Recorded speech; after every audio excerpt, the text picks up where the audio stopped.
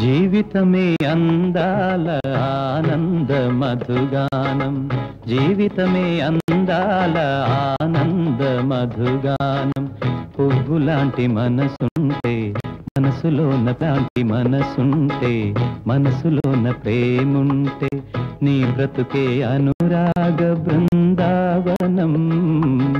నీ బ్రతుకే అనురాగ బృందావనం. జీవితమే అందాల ఆనంద మధు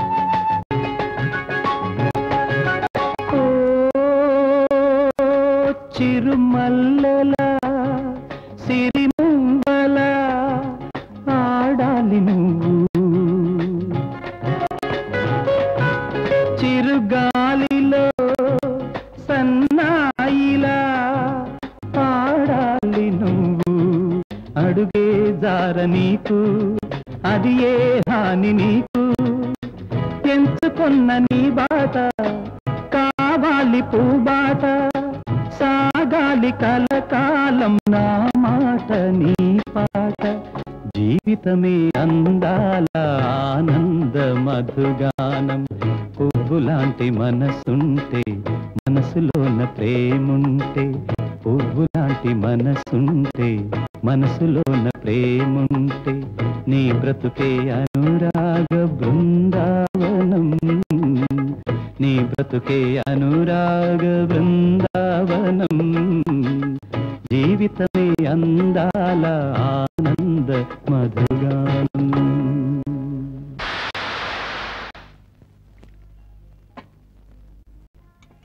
స్వాగతం సార్. కొత్తగా వచ్చారా? నాది మంచి రాసైన కొట్టు. బస్ స్టాండ్ పక్కనే ఉండటం చేత బస్సుకు వచ్చేవాళ్ళు చిన్న కొట్టు అని అనుకోకుండా ఓ కప్పు టీ తాగి మరీ వెళతారు. దయచేయండి. పెద్దవాడికి ఏదైనా పని మీద వచ్చారా? ఏదైనా ఉద్యోగం దొరుకుతుందని కాస్త మనసుకు ప్రశాంతంగా ఉంటుందని వచ్చాను. తల్లి తండ్రి ఉండేది ఏ ఊరు? దయచేసి నా కుటుంబం గురించి జ్ఞాపకం చేయకండి. మీరు నాకు బాగా నచ్చారు. కానీ నాకు ఈ లోకంలో ఎవరూ నచ్చలేదు. ఇంత చిన్న వయసులో ఎందుకు వచ్చిందంత విరక్తి? తన పిల్లలకు బుద్ధి చెప్పాల్సిన తండ్రి చెడుదారిలో తిరుగుతుంటే ఆ పిల్లల గతి ఇలాగే ఉంటుంది. ఒకవేళ మీ మనస్సుకు బాగా చికాగ్గా ఉంటే మన పుట్టుకొచ్చేయండి ఇప్పుడు నాకు కావాల్సింది ఉండటానికి చోటు. నాకు వదిలేయండి సార్. నాకు తెలిసిన గుజరాతీ సైడ్ మేడ మీద ఓ గది ఖాళీగా ఉందండి. దాంట్లో అద్దుకుండొచ్చు మరి ఏదైనా ఉందా సమస్య? కష్టపడి చదివిన చదువుకి ఏదైనా ఉద్యోగం. డోంట్ వర్రీ అన్ని డిపార్ట్మెంటుల్లోనూ నాకు తెలిసిన వాళ్ళు చాలా మంది ఉన్నారండి. ఉద్యోగానికి నేను గ్యారంటీ. చెప్పండి.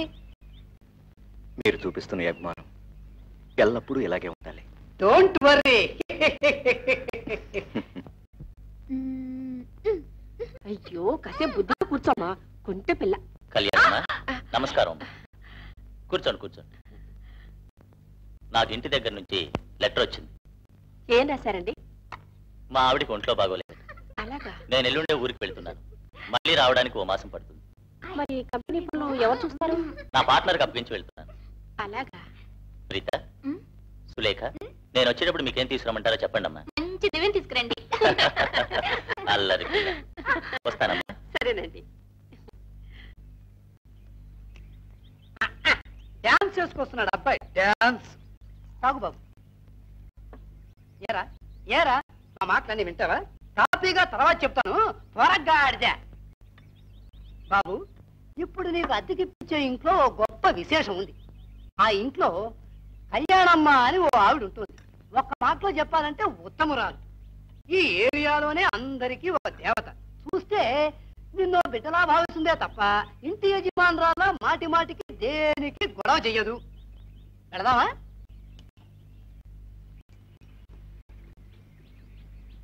కొంచెం ఉండండి ఉండండి. రే లటకాలు కళ్ళద్దాలు పరిగెత్తుకుంటూ వెళ్ళా లింగంగాన్ని పట్టుకోండిరా.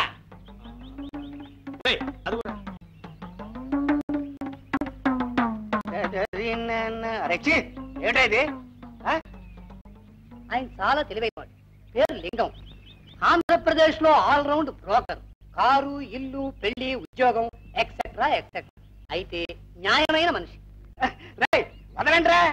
టీ కొట్లో పని చేసుకునే వాళ్ళే అది వదిలేసి లూటీ పక్కకు దిగారా? వదలండ్రా. లింగం ఓ మారినారా? వదలండ్రా. ఏం బాలయ్య వీళ్ళ నా మీద దండయాత్రకు పంపించావేమిటి? వదలండ్రా చవటలారా.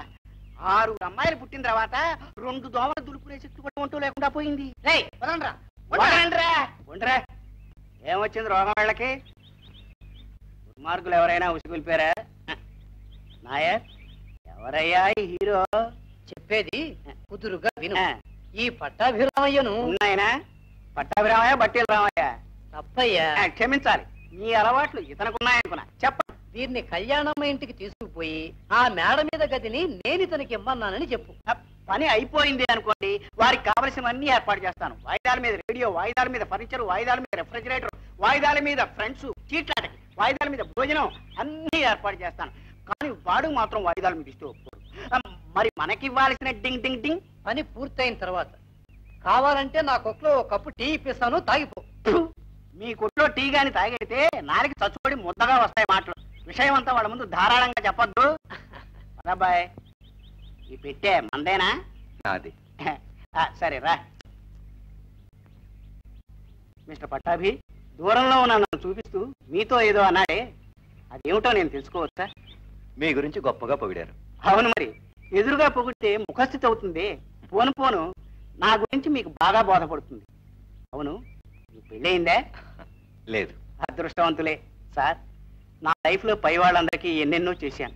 కానీ నాకంటూ ఏమీ చేసుకోలేకపోయాను. నా బతుకు ఒక రకంగా సేల్స్మెన్ వంటిది. ఈ చేతులతో ఎన్నెన్నో నగలు వస్తువులు కొన్నాను. కానీ కట్టుకుని ఇల్లాలికి ఒక్క వస్తువు కూడా కొనలేకపోయాను. అందుకేం బాధపడకండి. ఒక విధంగా డబ్బు అనేది మనిషికి క్వాలిఫికేషన్ ఇప్పుడు కాదు. Very well set I like you I like your personality if you don't mind మిమ్మల్ని అడగచ్చా? అడగండి. I have got six daughters ఎవరికీ పెళ్ళి కాలేదు. జరిపించే స్తోమత లేదు. Why don't you marry one of my daughters తెలివైన వాళ్ళు చదువుకున్న వాళ్ళు. ఎవరినో ఒకరినైనా పెళ్ళి చేసుకుంటే నా జన్మ సాఫల్యం అవుతుంది సార్. విచారపడకండి. అమ్మాయిల పెళ్ళిళ్ళు నేను చేయిస్తాను ఎందుకంటే ఇప్పుడు నాకు పెళ్ళి చేసుకునే ఉద్దేశం లేదు. మంచి మాట అన్నారు సార్. మిగిలిన వాళ్ళు లాగా నన్ను పిచ్చివాడంటూ నవ్వక నా బాధ మీరు అర్థం చేసుకున్నారు. అదే పదివేలు ఐ షుడ్ వెయిట్. పదండి. ఆ, కుడి పాదం పెట్టండి. రండి. నైన్టీన్ థర్టీలో విదేశీయుల కాలంలో విదేశీ కాంట్రాక్ట్ అని పెట్టి విదేశీ సిమెంట్తో కట్టిన బిల్డింగ్. కళ్యాణమ్మా! కళ్యాణమ్మా? కళ్యాణమ్మా? అరే రే రెండో అమ్మాయా? రామ్మా. ఈ పిల్లే కళ్యాణమ్మ రెండో అమ్మాయి. Latest model. ఇప్పుడే షోరూమ్ లోంచి డెలివరీ అయింది. Mark four. కారు అనుకున్నా. ఏమిటి విశేషం? ఏమీ లేదు. చూసి చూసి ఒక మంచి పార్టీని తీసుకొచ్చాను. మేడ మీద గదిపించాలని ఆర్డినరీ కేసు కాదు నాయర్ సార్ రికమెండ్ చేశారు. బ్రహ్మాండమైన పర్సనాలిటీ బాగా చదువుకున్నవారు ప్రతి నెల ఒకటవ తేదీకి టంచన్గా అందించేస్తారు. కులం గోత్రం సర్వం తెలుసుకున్నాను. ఏ వన్ జాతకం చూస్తే అద్భుతంగా ఉంది.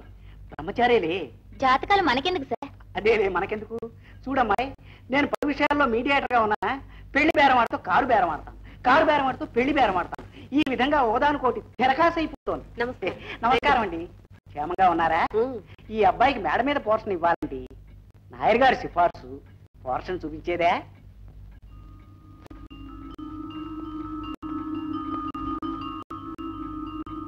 రా బాబు కూర్చొని మాట్లాడదాం. రండి కూర్చోండి.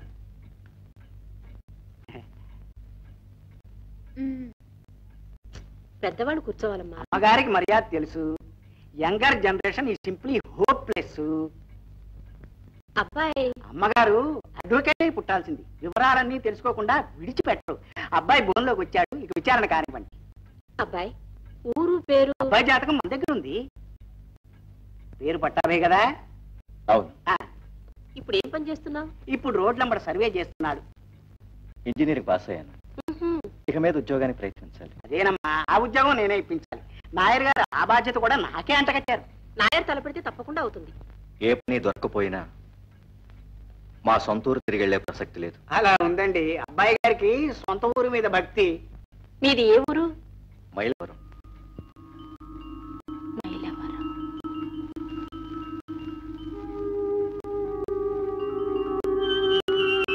మిమ్మల్ని చూస్తే బాగా పరిచయం ఉన్నట్టు కనిపిస్తున్నారు. అయితే ఆ కమిషన్ పోయిందా. మైలవరం. నాకు సొంత ఊరే. ఏం బాబు నీకు వివాహం అయిందా దానికి నేనే ఏర్పాటు చేయాలి. ఒంగోలులో ఒక అమ్మాయిని ఇస్తామని కాళ్ళు అరిగేలా తిరుగుతున్నారు. ముందు ఈ అబ్బాయి తన కాళ్ళ మీద నిలబడాలని. నాకు పెళ్ళంటేనే ఎంతో అసహ్యం కలుగుతుంది. అయ్యో మరి నా కమిషను? ఎందుకని బాబు? కళ్యాణం అన్న మాట ఎవరైనా ఉచ్చరిస్తేనే నాకు కళ్యాణి అన్న పేరే జ్ఞాపకం వస్తుంది. ఎవరా కళ్యాణి? మా నాన్నగారి రెండవ భార్య. ఆవిడ్ని చంటి బిడ్డతో సహా మా నాన్న ఇంట్లోంచి గెంటేశాడు.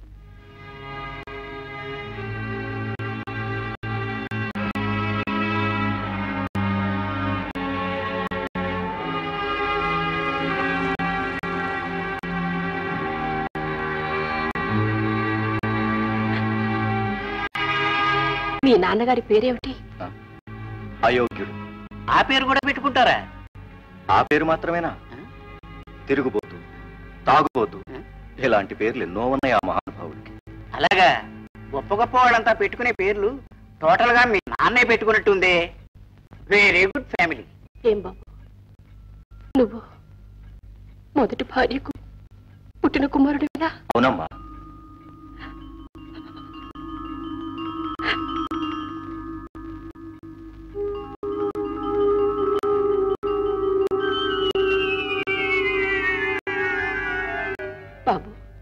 నువ్వు ఇలా నాయనా?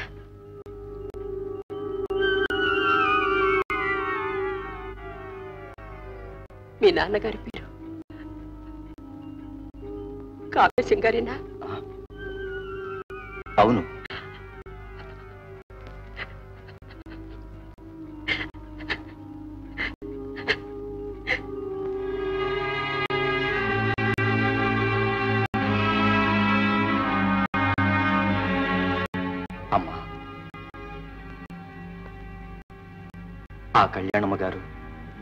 అంటే అది మీరేనని నేను అనలేను. ఆవిడ మా నాన్నగారు కలిసి తీసుకున్న పెళ్ళి ఫోటో ఇంకా మా ఇంట్లోనే ఉంది. ఆ అమృతమూర్తి రూపం మీ రూపం ఒకే పోలికలో ఉన్నాయి. అందుకే వచ్చిన దగ్గర నుంచి మిమ్మల్నే చూస్తున్నాం. ఆ ఫోటోలో ఉన్నది మీరేనా?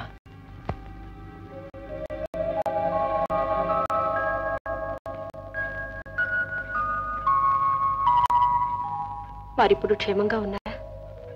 ఎవరికి ప్రయోజనం లేకపోయినా ఎందుకో ఇంకా బ్రతికే ఉన్నాడు. వారి ప్రవర్తన ఎటువంటిదైనా నువ్వు వారిని అలా అనకూడదు సుమా. ఎందుకంటే మీ అమ్మగారు ఎన్నటికీ చల్లగా ఉండాలి బాబు. మీరెలా ఉన్నారమ్మా? ఏదో ఇలా ఉన్నావు. ఇక్కడేం కుదిరేటట్లు. కమిషన్ ఒమిషన్ అయిపోయింది. లేక నువ్వు ఇలా రమ్మా. ఇదెవరో తెలుసుకున్నావా? నన్ను చంటి బిడ్డతో మీ నాన్న వెళ్ళగొట్టారని చెప్పావే. ఆనాటి చంటి బిడ్డే ఈ పిల్ల. ఇది నీకు చెల్లెలి వరుస అవుతుంది.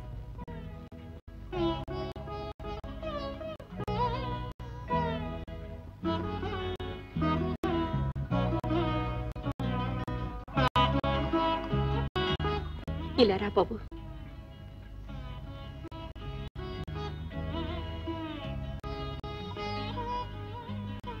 ఇదెవరా చూస్తున్నావా? ఇది కూడా నీకు చెల్లెలే అవుతుందయ్యా. అయితే ఈ లోకం ఈమెకు రకరకాల పేర్లు పెట్టింది.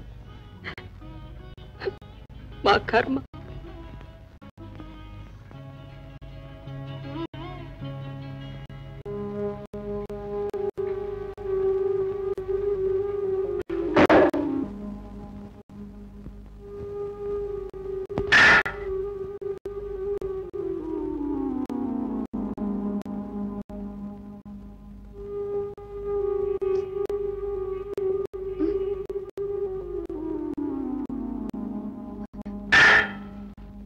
నువ్వు ఇలా అలిగావు? ఏమ్మా నా మీద ఏమైనా కోపం వచ్చిందా? ఎందుకే? అడుగుతాను చెప్పవే? నువ్వు నువ్వే మాట్లాడుకు నాకు కోపం వస్తుంది. సులేఖే కూతురు మీకు. నేనేమి కాను. ఈ మాటలకు అర్థం అదేగా? ఎవరమ్మా అలా అన్నారు? కనిపిస్తోందిగా? నేనేమో దిక్కుమాలిన దానిలా నుంచోవడం. వచ్చేవాళ్ళు ఎవరు రాయిదని తెల్లమొహం వేస్తుండటం. ఆ, ఇది కూడా నా పిల్లనని చెప్తుండటం. ఈ పద్ధతి సాగాల్సిందేనా? ఏమ్మా నన్నే అపార్థం చేసుకున్నావా? అస్మానం ఎవరింటికి వచ్చినా సరే మా అమ్మాయి ఇంటూ సులేఖనేగా నువ్వు చూపించేది నన్నేం కాదు. ఏమిటి పిచ్చిగా మాట్లాడుకో. ఇద్దరం ఒకే రక్తం పంచుకు పుట్టాం. ఇంతవరకు నీకే ముందన్నం పెడుతోంది తగ్గుతోంది జోకుటి పడుకోబెడుతోంది. అలాగే నేను తగ్గు పెట్టినా? నాతో మాట్లాడద్దు. ఈ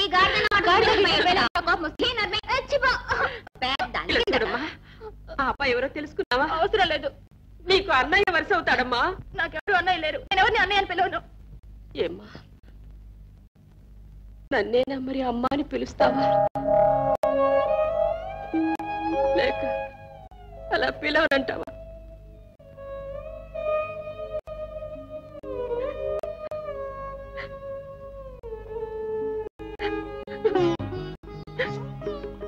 కాళ్ళు పట్టవే.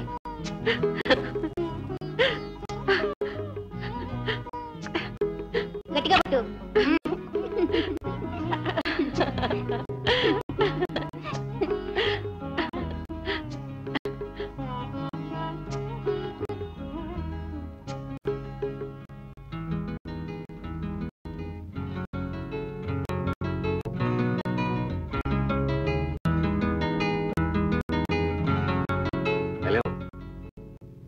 ఎవరండి?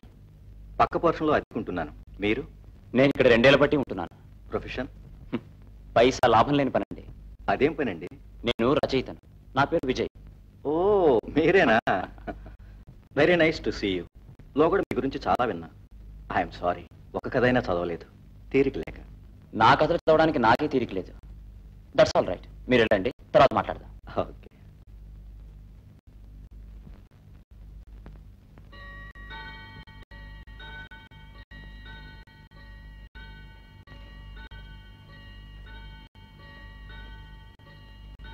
పట్టాభి. రామ్మా. అమ్మాయిల ముందర కొన్ని విషయాలు చెప్పలేకపోయాను. మీ నాన్న నన్ను వెళ్ళగొట్టినప్పుడు ఈ ఇల్లు గల గుజరాతీ ఆయన నాకు ఆశ్రయం ఇచ్చాడు. అభిమానంతో నన్ను ఆదరించాడు. అయితే ఈ జనం ఏం కూస్తున్నారో చెప్పనా? ఈ గుజరాతీ ఆయన నుంచుకున్నాడట ఆ వ్యక్తికే ప్రీత పుట్టిందట. నిజం చెప్తున్నాను అబ్బాయి. ప్రీత మీ తండ్రికి పుట్టిందేనయ్యా? నేను ఇల్లు వదిలి వచ్చేటప్పటికే ప్రీత నా గర్భంలో ఉంది. కానీ మీ నాన్నగారైతేనే ఈ జనం అయితేనే అందరూ అనేదేమంటే ప్రీత గుజరాతీ ఆయనకు పుట్టిందని. సుభాషిణి ఆంటీ. రా, రా, రా, రా, రా. పుస్తకం తీసుకుంటున్నా? తీసుకో. ఈ కథ ఎలా ఉంటుందో మరి? ఏం కథలో. ఈ కథే ఒక పెద్ద కథ. ఏమంటున్నారు. ఒక మాట చెప్పాలని ఈనాటి నుంచో అనుకుంటున్నాను. చూడమ్మాయి తెలుగు అమ్మాయిలాగా ఇక మీద చీర ఇలా కట్టుకోకు ఏ? గుజరాతీ అమ్మాయిలా చీర కట్టుకోవాలి. ఎందుకు? అదంతా తర్వాత చెప్తాను. ఇలారా ఇలారా పుస్తకం కింద పడేయ్.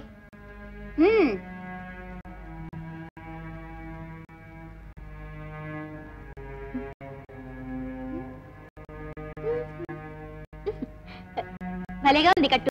ఇక మీద ఈ విధంగానే కట్టుకుంటా పుస్తకం తీసుకెళ్ళా పుస్తకం కింద పెట్టు. పెట్టమంటే? ఇదిగో అమ్మాయి ఈ విధంగా నువ్వు చీర కట్టుకుని ఇంటికి వెళ్తే మీ అమ్మ చాలా కథలు చెప్తుంది. సాయంత్రం వచ్చి పుస్తకం తీసుకువెళ్ళు. ఇప్పుడు ఇంటికి వెళ్ళమ్మా. సరే.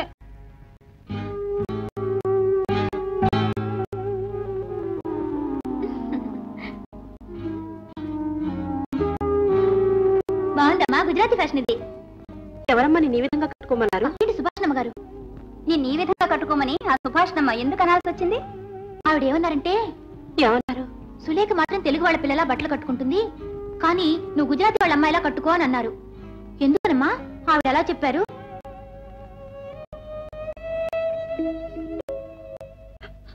ఎందుకమ్మా ఏడుస్తున్నా? సుభాషిణమ్మ నీ బొట్టు కట్టు మాత్రం మార్చలేదమ్మా. దీని మూలంగా నా బ్రతుకుని అపహాసం చేసింది. ఎవరు ఎన్ననుకున్నా నేను బాధపడను. కాని నువ్వు మాత్రం ఈ కట్టు కథల్ని ఎప్పుడూ నమ్మకయ్యా. ఈ ఊళ్ళో ఉన్న వాళ్ళల్లో కొందరు తప్ప ఎందరూ అవమానిస్తున్నారు. నా బిడ్డల మనస్సుల్లో సందేహం కలిగిస్తున్నారు. కానీ ఎవరిని చెప్పినా దేవుని కృప వల్ల నా బిడ్డలు నా మీద ప్రేమగానే ఉంటున్నారు. ఇదే ఈ అభాగ్యురాలి జీవితం.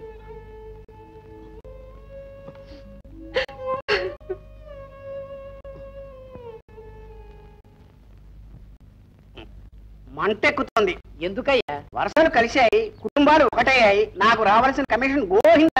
ఏమైందో చెప్పవయ్యా. కళ్యాణమ్మకి పట్టాభి దగ్గర చుట్టమట. చెప్పవే. కళ్యాణమ్మకి అబ్బాయి కుమారుడు వరుస అవుతాట. బాగుంది కదా? కొత్త కథలా ఉందే. కొత్త కథ కాదు ఉన్న కథే పచ్చి నిజం. నీ వాయిదాల బుద్ధి పోనిచ్చుకున్నావు కాదు కొంచెం వివరంగా తెలియజేయి. అమ్మ ఎలా అవుతుంది అబ్బాయి ఎలా అవుతాడు? అమ్మ అంటే ముందు పుట్టింది అబ్బాయి తర్వాత. రెచ్చి ఇంకాసేపు పోతే కోడి ముందా గుడ్డు ముందా అని చెప్పమంటావులా ఉంది. నేను వాళ్ళ ఇంట్లో హాల్లో కూర్చున్నప్పుడు కళ్యాణమ్మ పట్టాభిని చాటుగా లోపలికి తీసుకుపోయి ఏమేమో అడిగేశారు. నాకు సరిగ్గా వినిపించా. ఆ తర్వాత లోపలికి తీసుకొచ్చి బడ్జెట్ అనౌన్స్మెంట్ వచ్చినట్టు ఎవరు ఎవరికి అబ్బాయో ఎవరికి ఎవరి చెల్లెళ్ళు చెప్పేశారనుకో. ఏమిటయ్యా ఇది? ఒకదానికొకటి సంబంధమే లేదు. నాకు అంతకంటే కన్ఫ్యూజన్గా ఉన్నది. ఈ టీ పారపోసేదే లోపడవు కదా?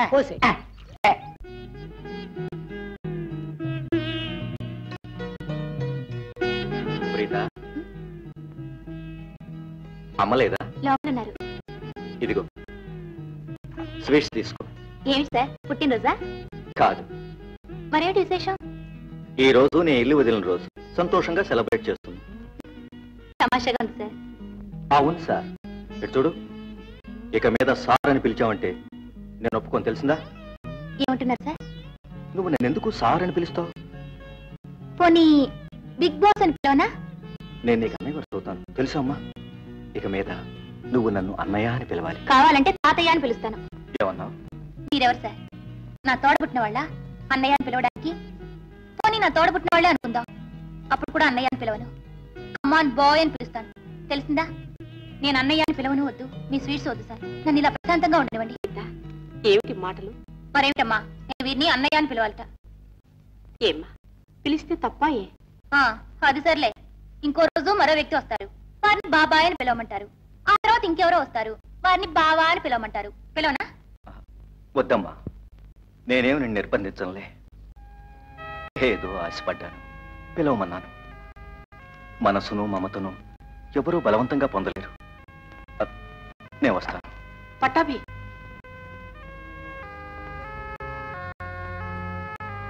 ఇటు చూడమ్మా. ఏదో ఒక రోజున పట్టాభి నువ్వు అన్నయ్య అని పిలుస్తావు. పిలవను. పిలుస్తావమ్మా మ్మ్.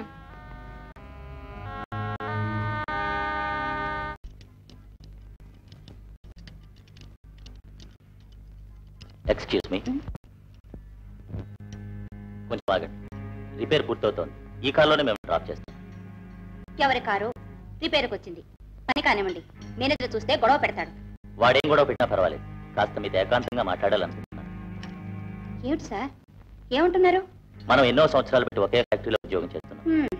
నా మనసు అర్థం కాలేదా? మొదలెట్టారా ఏమిటి? ఎందుకని అడిగితే లవ్ చేస్తున్నాను నేను పెళ్ళి చేసుకుంటానంటారు. వర్క్ చేయండి. ఈ ఫ్యాక్టరీలో నూరు మంది పనిచేస్తున్నారు. ఒక్కొక్కరు మనసులో తెలుసుకోవాలంటే నా జీవితం చాలదు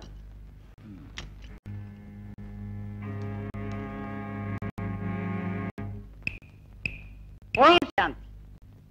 నేను ఈ విధంగా ఒక నిమిషం కళ్ళు మూసు కూర్చున్నానంటే ఏదో ఒక పెద్ద విషయమే ఉంటుందని అర్థం. ఆ మరి ఇప్పుడు నేను మీ అందరినీ ఇక్కడ సమావేశపరిచాను. ఎందుకో తెలుసా? తెలీదే. నాకు ఎప్పటి నుంచో ఒక చిన్న సందేహం. ఏమిటి? మీ ప్రొపరేటర్ పాల్ఘాట్కి వెళ్ళారే. ఎప్పుడు వస్తారు నాలుగు రోజుల్లో వస్తారు. పోయిన మాసం చిదంబరం వెళ్ళారే. అప్పుడు ఎన్నాళ్ళకి వచ్చారు? ఏడు రోజులకు వచ్చారు. పోతే ప్రొపరేటర్ కుటుంబం పాల్ఘాట్లో ఉందా? చిదంబరంలో ఉందా? పాల్ఘాట్లోనే లేదు చిదంబరంలోనే ఉంది. నన్ను తికమక పెట్టేస్తున్నారే. ఒక భార్యనే రెండు ముక్కలు చేసి రెండు చోట్ల కాపురం వెలిగిస్తున్నాడా? సరే పాల్ఘాటు చిదంబరం వదిలేయండి. నెక్స్ట్ వీక్ బెంగళూరు ఎడబోతున్నానంటూ టూరిస్ట్ బస్సులో టికెట్ బుక్ చేయించాడే నా చేత ఎందుకని? అక్కడ వాళ్ళ అత్తయ్య ఉన్నారు. అత్తయ్య ఉంటే ఆమెతో కూతురు ఉండాలే మరి. ఏమిటి రై గొడవ? ఒకటి చెయ్యి. ఏంటి? మీ ప్రొపరేటర్ కరెక్ట్గా డబ్బిస్తున్నాడు. వేళకింత కూడు పడేస్తున్నాడు. కుదురుగా వ్యాపారం సాగుతోంది. ఎలాంటి గొడవలు లేవు. ఈ టీ కొట్టు కుక్క కూడా మొరగడం మానేసి బుద్ధిగా నిద్రపోతోంది. మీ ప్రొపరేటర్ వెనక ఒక పెద్ద మర్మమే దాగుంది. నేను చెప్పినట్టు చేయండి. అది తెలుసుకోవడానికి ఒక గొడవ మీరు ఎక్కడైనా పనిపిస్తారా? ఎవడరా వీడు? యూనియన్ లీడరా? కొందరు సమ్మె పేరు ఎత్తితే చాలు. బుడబడమంటూ వచ్చేస్తారు. పటాబి ఉన్నారా ఏ పట్టాది మై సన్ పటాబి ఎరా ఇంగ్లీష్ భాషలో చెప్తున్నాడే లేచి లోపలికి ఉండరా వాసన ఘాటుగా ఉంది. రండి కూర్చోండి మెల్లిగా మాట్లాడుకుందాం. పట్టాభి మీసన్నా. ఎందు వచ్చిందా సందేహం? లేదు ఆ కలరు ఆ పర్సనాలిటీ ఎగతాళా? లేదు చిన్న రీసెర్చ్. రీసెర్చ్. అబ్బాయి తాతగారులా ఉంటాయి. అయితే చక్కగా కలర్ఫుల్గా ఉండే అబ్బాయిని కనాలంటే ముందు చక్కని కలర్లో ఉండే తాతయ్యని పుట్టించాలంటారా? మై సన్ ఈ హోటల్లోనే భోజనానికి వస్తాడని విన్నాను? ఏం చేస్తున్నారు అక్కడ? లోపల ఉంటే లేడంటారా? ఆయన ఫుల్గా పట్టించి ఆఫీస్కి వెళ్ళారు ఐ మీన్ భోజనం. ఆఫీస్గా. ఇప్పుడు నేను ఇక్కడే ఉండే అబ్బాయిని చూసే వెళ్తా. అసలు ఏం జరిగిందంటే మా సన్కి నాకు వచ్చిన తగు. పేపర్లో వేశారు. ఆ. అలా కోపగించుకుని వచ్చేసాడు ఆ, నేను నేర్పుగా వాడి అడ్రస్ వదిలిపెడతారా? లోపల దాని మహత్యం అలాంటిది. నేను ఒకటి చేస్తాను. ఆ. ఓ ఆటో రిక్షాలో వెళ్ళి మీ అబ్బాయిని తీసుకొస్తాను. ఆ, నేను నీతో మీరు ఇప్పుడే ఇలా ఊగిపోతున్నారు. ఆటో రిక్షా టర్నింగ్లో మీరు ఎక్కడ కింద పడ్డారంటే? నేను ఫుల్గా పట్టించినా కూడా సూదిలో దారం ఎక్కిస్తాను తెలుసా? మరి ఇంకే? మందు స్టాక్ ఉందిగా? ఉందా? అది వేసుకుని సూదిలో దారం ఎక్కిస్తూ కూర్చోండి. ఇంతలో మీ అబ్బాయిని తీసుకొస్తాను. నువ్వు ఒక్క వెళ్తే నా సన్ దగ్గర నా మీద లేనిపోయిన చెప్తా వాడు కోపం వస్తుంది. అని చెప్పి నేను వదిలిపెట్టను బా. ఏయ్, అరే, అరే, ఇదేమిటండి? మీ గొడవలకి నా చేతులు కట్టి పడేస్తామంటారు ఏమిటండి?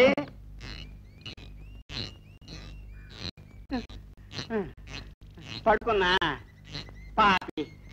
సూదిలో దారం ఎక్కిస్తానని చెప్పి టవల్తో నా చేతులు కట్టేసావు కదరా. కట్టేసి నువ్వు నిద్రపోతున్నా. నాకతే ఏమిట్రా పిచ్చి వెదవా ఎప్పటి నుంచో బాధపడుతూ అవసరపడుతున్నానే ఓ టీయో గియో పట్టుకొచ్చి నోట్లో పోయండి రా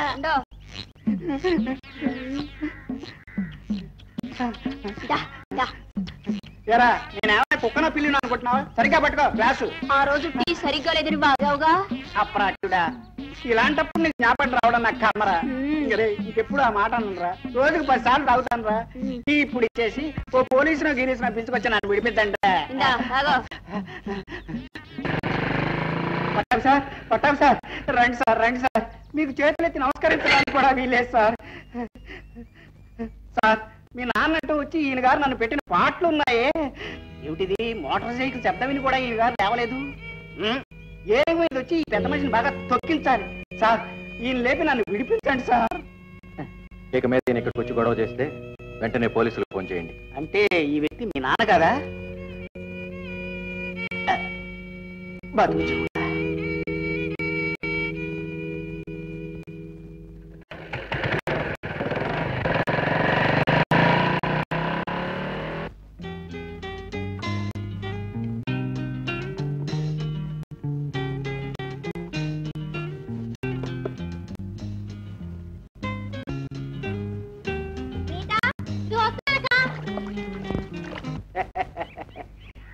నమస్కారం. నమస్కారం. నేనెవరో తెలుసుకోరా మీరు? అంత కర్మే వచ్చింది. మాస్టారు ఆ రచయిత విజయ రాసే ఒక్కొక్క కథలోనూ ఒక కోపిస్ట్ క్యారెక్టర్ రెగ్యులర్గా ఉంటూ ఉంటుంది. అలాగే మీరు కూడా నా మీద విరుచుకుపడతారే? నేనెవరో తెలుసుకోరా మీరు? చెప్పండి సార్. నేనే రచయిత విజయ్? అరే మీరేనా విజయ్? డబల్ నమస్కారం. అయితే మీరు రాసే ప్రతి కథలోనూ మీ గురించి రాసుకుంటున్నారా? మీరెంతో పాపులర్ రైటర్ కదా. సామాన్యుల్లాగా మీరు చెట్టు కింద కూర్చోవచ్చా?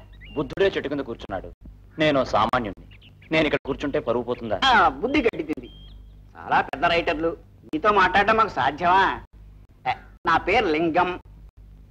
కానీ నా లైఫ్లో ఎప్పుడు వంగి వంగి బతుకుతున్నాను. నేను ఇలా వంగి బ్రతికే వాళ్ళంటే అసహించుకుంటా. నన్నే అంటున్నారా? కాదు. I'm an all round mediator. By the by are you married? లేదు. ఏం సార్? ఇంతకు మీకు కులం గోత్రం మంచి చెడ్డ ఇలాంటి పట్టింపులు ఉన్నాయా? ఇప్పుడు ఆ గొడవ అంతా ఎందుకు? నా గొడవ నాదిలేండి. ఐ గాట్ సిక్స్ డాటర్స్ కానీ ఇంతవరకు ఏ ఒక్కరికి పెళ్ళి కాదు. మిమ్మల్ని చూస్తే జాలేస్తుంది. మీరు ఒప్పుకున్నారు కదా? దేర్ యు ఆర్ ఒక్కో అమ్మాయికి పెళ్ళి సంబంధాలు చూడడంలో నేను ఎంత బాధపడుంటారు. నలుగురు ఆడపిల్లలు కానీ మా అమ్మ నాన్న ఎంత బాధపడ్డారో నాకు బాగా తెలుసు. సార్ నాకు అలవాటు ఉంది. చెట్టు కనిపిస్తే చాలు ఒక రాయి విసురుతాను. కానీ ఇంతవరకు రాళ్ళే పడ్డాయి.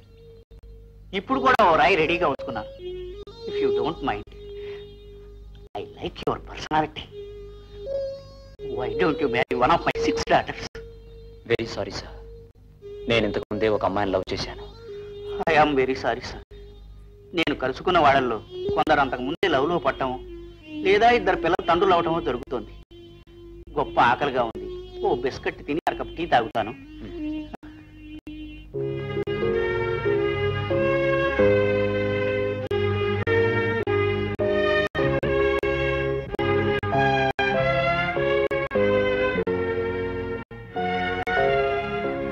ఈ రోజు నీ బర్త్డే అని విన్నాను. Many many happy returns of the day sir పుట్టిన వాళ్ళందరికీ ప్రతిరోజు బర్త్డే నిద్రలోంచి ఉదయాన్నే మేలుకుంటే బర్త్డే మేలుకోలేదంటే డెత్ డే. ఉదయాన్నే లేచిన తర్వాతే మన ప్రాణాలతో ఉన్నామా లేదని తెలుస్తుంది. అంచేత ప్రతి వాళ్ళకి ప్రతిరోజు బర్త్డేనే ఆ విధంగా చెప్పాలంటే మీకు ఈరోజు బర్త్డే ఇంత వేదాంతం చెప్తున్నావే? నా మనసు ఇంకా నువ్వు అర్థం చేసుకోలేదా? అర్థమైంది. ఏమైంది? నన్ను ప్రేమిస్తున్నారు. ఉన్న పనులన్నీ వదిలేసి నా వెనకాల తిరుగుతున్నారు. ఇంతకీ నీ ఉద్దేశం చెప్పవా? మీరు ప్రేమించడం మానేయండి. ఏమిటి ప్రీత? ఎందుకు నా మీద కోపం? మన ఇద్దరం పెళ్ళి చేసుకోవడానికి. నీకేమైనా అభ్యంతరం ఉందా? లేదే. మీకు తొందరగా ఉంటే రేపే పెళ్ళి చేసుకుందాం? నిజమేనా? ప్రమాణపూర్తిగా. అయితే మనిద్దరం పెళ్ళి చేసుకోవాలంటే నేను కొన్ని కండిషన్స్ పెడతాను. అందుకు అంగీకరిస్తే రేపే పెళ్ళి చేసుకుందాం? ఏమిటా కండిషన్స్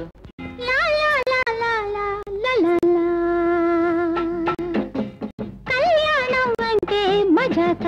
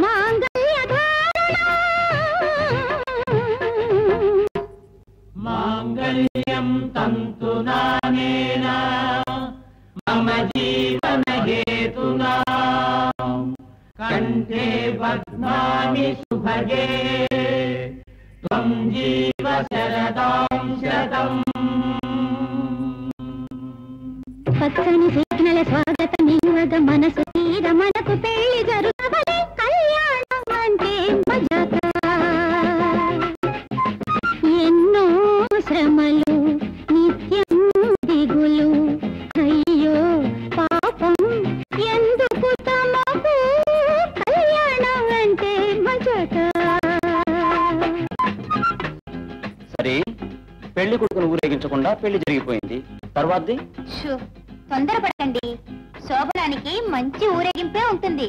సన్నాయి మేళం ఉంటుందా?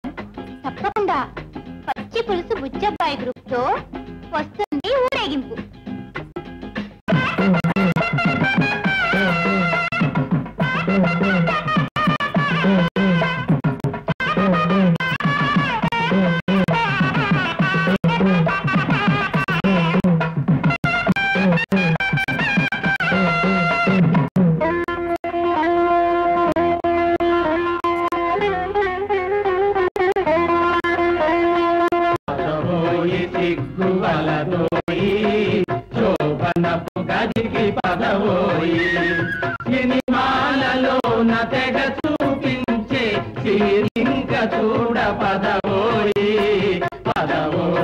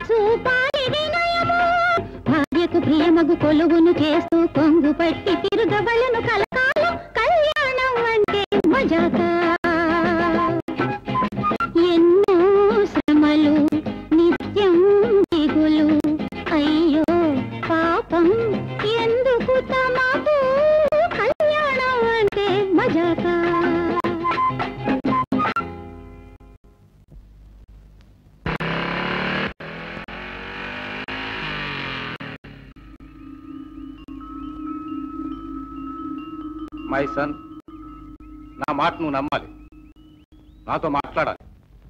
నేనేం తాగి రాలేదు సవ్యంగానే వచ్చాను మృగం అనేది నుంచున్నా ఒకటే పడుకున్నా ఒకటే. మై సన్ నువ్వెప్పుడూ కూడా నా మనస్సులోని మంచిని అర్థం చేసుకోవు కదా.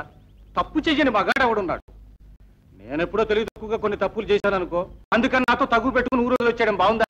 మీ అమ్మ నీ కోసం బెంగెట్టుకుంది. దగ్గరుండి తీసుకురమ్మంది. పదపోదాం ఎందుకు?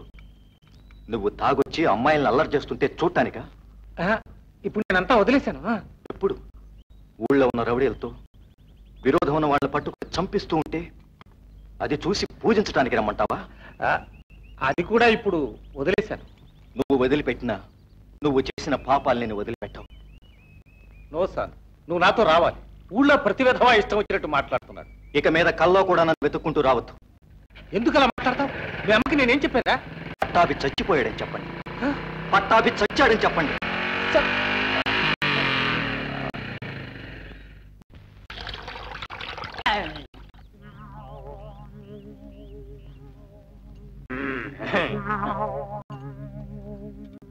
ఆగా ఆగా. నేను ఎవరో తెలుసా అమ్మాయి? ఎవరు రౌడీ వాళ్ళ ఉన్నావు. మీ నాన్న నేనే సులేక మా నాన్న? ఆ, మీ అమ్మ చెప్పలా? అమ్మని తెలుసా మీకు? ఆ, కళ్యాణి. అమ్మ పేరు తెలిసిన ప్రతివాడు ఆవిడికి భర్త అయిపోడు హే, నిజం చెప్తున్నా. మీ అమ్మకు తాళి కట్టిన వాడిని నేనే. ఆ. తమరు ఇంతకాలం ఎక్కడున్నారు? ఏమంటావులే? ఒక పిచ్చి వేధవని చంపేసి కొన్నాళ్ళు జైల్లో ఉన్నాను పోయిన వారమే బయటకు వచ్చా. ఇప్పుడు ఎవరిని చంపాలని వచ్చారు? ఎందుకు ఏదేదో మాట్లాడతావు? నిన్ను తీసుకువెళ్దామని వచ్చా. బయలుదేరు బయలుదేరు ఊరికి పోదాం. ఇక మీద మీ అమ్మతో ఉండకూడదు. దానికి గుజరాతీ గాడు మౌడుగా దొరికాడు మర్యాదగా మాట్లాడు. ఇక మా అమ్మ గురించి తప్పుగా మాట్లాడేవంటే నేను చంపేస్తాను. అమ్మా అమ్మా. సులేఖ అమ్మా. ఏమండోయ్ ఎవరు మీరు? ఆఫీస్కి వెళ్ళే అమ్మాయిని అల్లరి పెడుతున్నారు ఎందుకు? ఆ పిల్ల ఎవరో నేనెవరో నీకు తెలుసా బ్రదర్? ఆ అమ్మాయి విషయం నాకు తెలుసు. పెద్ద మనుషులు తమరెవరో నాకు తెలియదు పెద్ద మనుషుల గురించి లోకం పోను పా. ఏ? ఆంటీ ఏమిటి? చదివేశాను. ఏమిటంటే ఎప్పుడు చదువుతుంటారే తల్లప్రాదా? పక్కింటి వాళ్ళ కథలతో విసిగిపోయి నేను ఈ పుస్తకాలు చదవడం మొదలు పెట్టాను ఏమిటా పక్కింటి వాళ్ళ కథ? బిస్కెట్ తీసుకోమ్మా. ముందు చెప్పండి. బిస్కెట్ తీసుకోమ్మా. ఈ ఇంటి కథే. అంతకు మించి పెద్ద కథ మరే ఉంటుంది. అసహ్యమైన కథ. నువ్వు ఉండవే. ఆంటీ మీ దగ్గరికి పుస్తకాల కోసం వస్తున్నామే తప్ప కథలు వింటానికి కాదు. కొంచెం ఉండక నేను ఉండవే. కాసేపు పోట్లాడుకోకండి ఆంటీ మీరు చెప్పాలనుకున్నదో చెప్పండి? ఏమిటి? ఏమిటా కథ?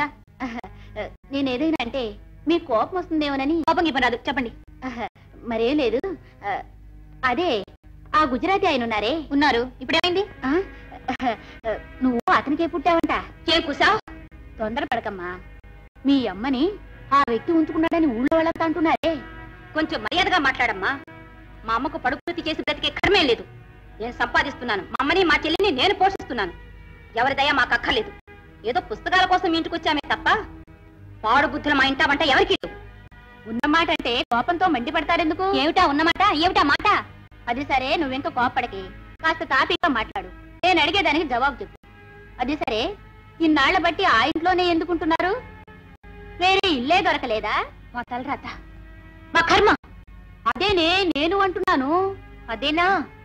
మహాతల్లి ఊరుకోక ఇంకా దేనికి ఇవిడితో మాటలు నేను తేల్చుకొస్తాను నువ్వు ఉండు. ఏమ్మా మహాతల్లి మీ ఇంటాయన ఎక్కడున్నారు? ఏ ఆ విషయం అవసరమా? పర్లేదు చెప్పండి. సింగపూర్లో ఉంటున్నారు. సింగపూర్లో ఎన్నేళ్ళు బట్టి ఉన్నారు? నాలుగేళ్ళ పైన అయింది. నాలుగేళ్ళ బట్టి మరి ఇక్కడికి రాలేదుగా మరి ఇన్నాళ్ళుగా మీ ఇంటికి ఎవరో ఇంజనీర్ తరచుగా వస్తూ పోతున్నారే? వారికి మీకు ఏదైనా మాటలు అరవై ఏళ్ళు వచ్చాయి తలకేమో డై. సింగపూరు నువ్వు కావాలంటే మసిపూసుకో. మిగిలిన వాళ్ళకు పుయ్యకు. ఇదెక్కడిది? ఇంజనీర్ పట్టుకొచ్చినయా? ఆఖరి సార్ చెప్తున్నాను. మనం వెంటనే ఇల్లు కాల్చేసి వెళ్ళిపోవాలి. లేదా మనం ఈ ఊరి నుంచి అయినా వెళ్ళిపోదాం. అమ్మా మీ అమ్మ మంచిదనే నమ్మకం. మీకు లేదా? మాకు నమ్మకం ఉంది. కానీ చుట్టుపక్కల వాళ్ళకు లేదే. చెప్పు.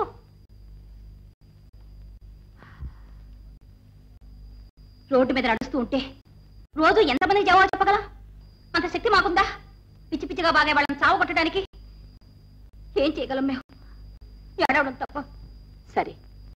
ఊరు వదిలి వెళ్ళి ఏం చేస్తాం? ముష్టెత్తుకుందాం ముష్టి వేసేవాడు మగవాడే అయితే.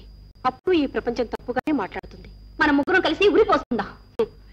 మనం చచ్చిన తర్వాత మన శవాన్ని మోసేవాళ్ళు కూడా మగవాళ్ళే అయితే దానికి ఒక కట్టుకథ కల్పించరా? పోనీ ఇల్లు విడిచిపెట్టిపోవద్దు ఎప్పుడు అవమానం భరిస్తూనే ఉందాం. మనం ఊరికి భయపడి వెళితే సమాజం మనల్ని ఎంత దూరమైనా తరుముకుంటూనే వస్తుంది. మన మనసుకు ఎప్పుడు ఏది న్యాయం అనిపిస్తుందో అదే మనం చెయ్యాలి. న్యాయం. అది న్యాయమని అందరూ నమ్మాలిగా? అమ్మా నా గురించి సందేహపడుతున్నారు. చెడిపోయానని ఎందుకంటే ఇంకొకరితో సంబంధం ఉందని నిర్ణయానికి వచ్చారు కదూ? ఇప్పుడు వినండి. ఈ ఇల్లు గల ఆయన మీ నాన్నగారి బాల్య స్నేహితుడు. మీ నాన్న నన్ను ఇంటి నుంచి వెళ్ళగొట్టినప్పుడు ఈ వ్యక్తియే నాకు ఆశ్రయం ఇచ్చారు. నా తోడబుట్టిన సోదరులా చేరదీశారు. ఎవరెవరి మాటలో విని నన్ను పంచాయతీ చేస్తున్నారే? పంచాయతీ పెద్ద పంచాయతీ. ఈ ఊళ్ళో ఉన్న గాడిదల ముందర అవమానపడుతున్నావు? నీకు కూతుళ్ళ కంటే ఈ ఇల్లే ఎక్కువ. నీ ఉద్దేశం అదే కదమ్మా? కాదమ్మా. మరి ఎందుకు ఆలోచిస్తున్నావు? ఇద్దరు చిన్న పిల్లలుగా ఉంటే దూరంగా ఎక్కడికైనా తీసుకెళ్ళిపోయేందును కానీ వయసులో ఉన్న వాళ్ళని తీసుకొని నేను ఎక్కడికమ్మా పోయేది? ఎలా కాపాడేది? నేను పని చేయడంలా సంపాదించడంలా నేను మీ రెండు ప్రాణాలు పోషించలేనా? పోషిస్తావమ్మా. చక్కగా పోషిస్తావు. కానీ ఒకటి మర్చిపోకు. చూసావమ్మా? దీనికి ఈ విధంగా బట్టలు కట్టిందే ఒకటి. అదే విధంగా పది మంది అల్లే కథల్ని ఎవరు మార్చగలరు? మీ సమస్య తీరిపోవాలంటే ఒకే ఒక మార్గం.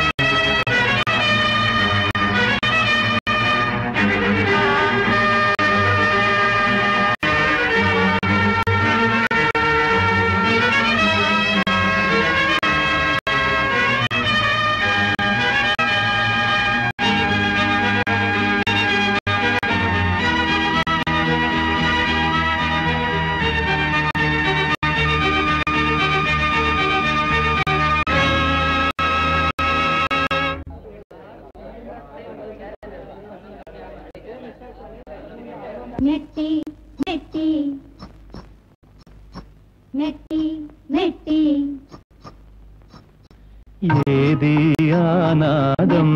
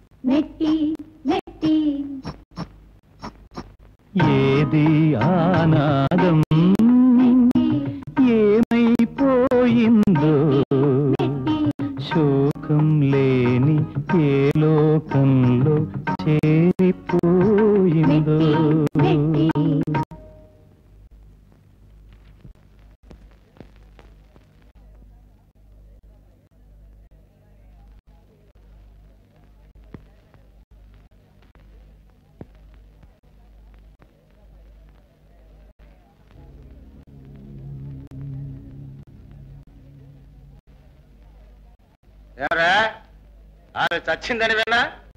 ఏనరా ఆ? గుండె నొప్ప? ఉరోసుకుందా? కూలియా నువ్వెప్పుడూ ఆ మనసును కూని చేశావు. కానీ ఇవాళ శారీరకంగా మరణించింది. ఒరే ముద్దు నీకు ఇక్కడేం పనిరా? పట్టాలి మీరు లోపలికి రండి. నాకేం పనా? మా అమ్మకు నేనేగా కురువు పెట్టాలి? నీకు అది అమ్మట్రా బయటికి. ఊరందరి ముందర అల్లరి చేయొద్దు. మర్యాదగా వెళ్ళిపో. నిన్ను ఇప్పుడే చంపేస్తా. ఏమరా? అందరి ముందు నన్ను అవమానిస్తావట్రా ఏరా, ఆ పేరు నీకు అమ్మట్రా అవునరా. ఏమిట్రా కూసా? లంచ కొడక. ఎప్పుడు నువ్వు మర్యాదగా పోకుంటే మా అమ్మ కురువు పెట్టే ముందు నీ కురువు పెట్టేస్తాను. కొరివి కొరివి విన్నారా? విన్నారా? వీడు అంటున్నది విన్నారా? దూరం మూసుకుని వెళ్ళిపోరా. రేయ్ నేను ఇప్పుడే ముక్కలు ముక్కలు చేసి పారేస్తా. ఏమిరా నన్నే కొడతావు కదూ?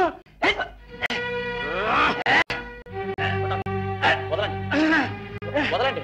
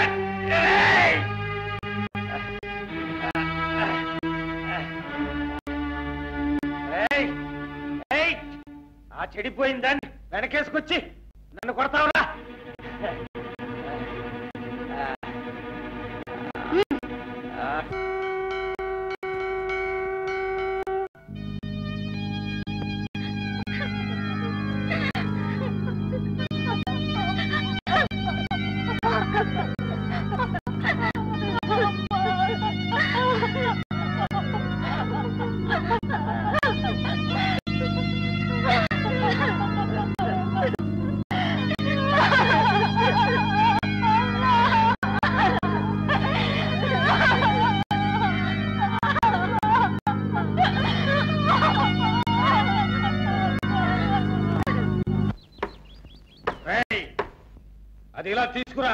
ఏదండి? మెరుస్తున్నారే అదే. కత్తి ఇమ్మంటారా వద్దురా. ఇది చాలా పట్టాభి ప్రాణం తీయడానికి. వీడేమిటి రాక్షసుడా వచ్చి కూర్చున్నాడు? ఏమండి గదం ధరించిన భీముల్లా కూర్చున్నారు? దాన్ని కాస్త పక్కన ఉంచండి ఏమండి ఇలాంటి అన్యాయం ఎక్కడన్నా ఉందా సావు ఇంటికి వెళ్ళి అల్లరి పెట్టచ్చా? ఇందులో ఎంత చెప్పనా? నీళ్ళు బావిలోంచి తీస్తూ కళ్యాణం పుట్టుకొని పోయింది నీరా పోసుకుంటున్న వాడు చావనంటున్నాడే. ఒంట్లో ఎముకలన్నీ సరిగ్గా ఉన్నాయో లేదో చూసుకోండి. ఏదన్నా ఒకటో రెండో తగ్గితే నేను పోయి ఏరుకొస్తా. నాకు టైం వస్తుందిరా. చీకటి పడిన తర్వాత ఏ ఇప్పుడే దొరుకుతుంది? ఒక హాఫ్ పట్టుకొచ్చి పోసుకుంటే సరి? ఓ రౌండ్ వేస్తే ఇప్పుడే కాలం వస్తుంది.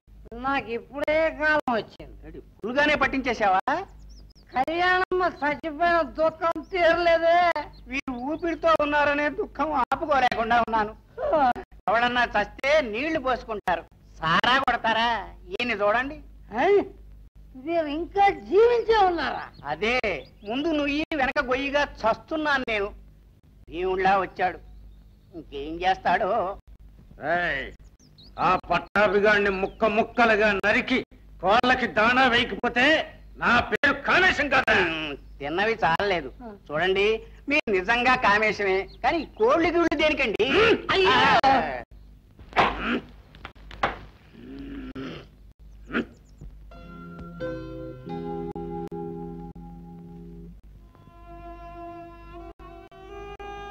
భోజనానికి రాక్క.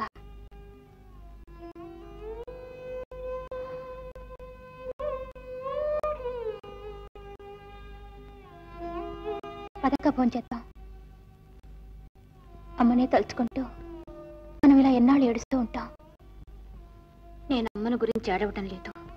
మరి? అమ్మ బ్రతికిన బ్రతుకును తలుచుకుని ఏడుస్తున్నాను.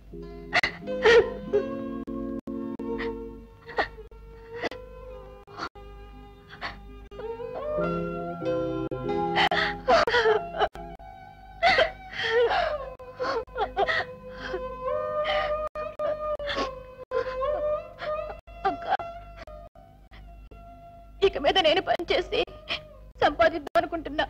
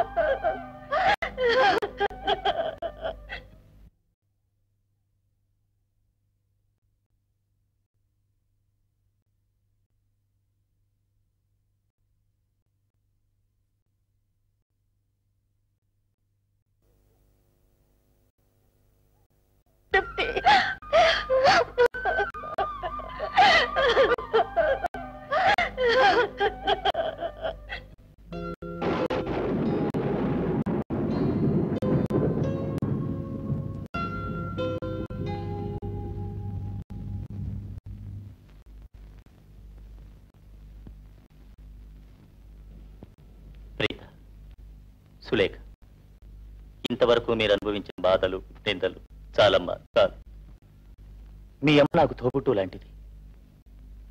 మీ అమ్మ మరణించినాడు కూడా ఎంత గొడవ రగడ చచ్చ నేనిప్పుడు మళ్ళీ మా ఊరికే వెళ్ళిపోతున్నాను మీరు ప్రశాంతంగా ఉండండి.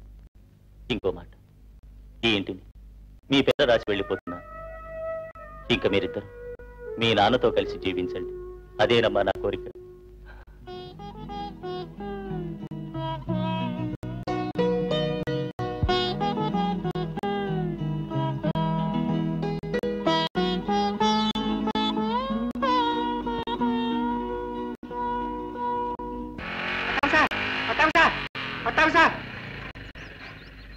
ఏమిటి లింగం చూడండి మ్, సులేఖను కొంచెం హద్దులో ఉంచండి.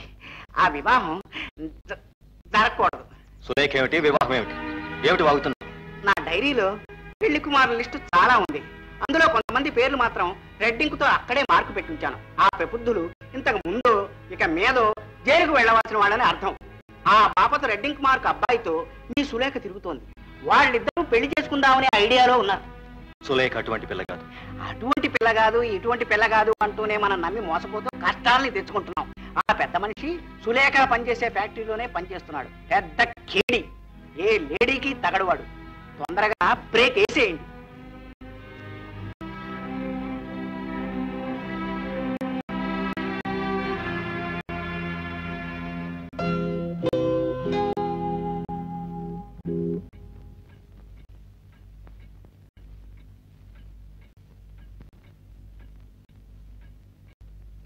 వాడి పేరేమిటి? మారుతి. ఉమ్, మారుతి. అది కోతి పేరు. అందుకే నీ మీదకు దూకాడు. అనవసరమైన పేర్లు పెట్టి పరిహాసం చేయొద్దు. మెనీ థ్యాంక్స్ వాడి దే జాతి మగాడు. ఏ? ఎందుక నవ్వు? మీ అక్క తెలివిగా మాట్లాడిందిరా మా నాన్న మగాడే. మీ అమ్మను విధులు పాలు చేయలా? అది సరేనమ్మా. ఇప్పుడు చెప్పావే మగాడని. ఆ మగాడు నిజాయితీ పరుడేనా? నిన్ను జాగ్రత్తగా చూసుకుంటాడా? జోస్యం చెప్పలేను. ఏదో నమ్మాను కావాలనుకున్నాను. So many thanks. ఇప్పుడు పంపేదో మునిగిపోయినట్టు ఎందుకు నువ్వు తొందరపడుతున్నావు? నాకు వయసు వచ్చింది. నాకు వచ్చింది వయసు. అందుకని యువత ముక్కు మొహం తెలియదని చేసుకుంటానా? చెప్పు. నా బాధంతా ఎందుకో తెలుసా? మీ అమ్మకు పట్టిన గత మీకెవరికీ పట్టకూడదని. ఉన్నాడుగా నాన్న. దౌర్భాగ్యం లాంటి మగుడు రాకూడదని వెయ్యి దేవుళ్ళు ప్రార్థిస్తున్నాను. మొత్తుకుంటున్నాను. దౌర్భాగ్యుడే వచ్చినా నేను బాధపడ్ను. ఒకరి కర్మను ఒకరు మార్చాలనుకోవటం పొరపాటు. అంతా నాశనం అయిపోయింది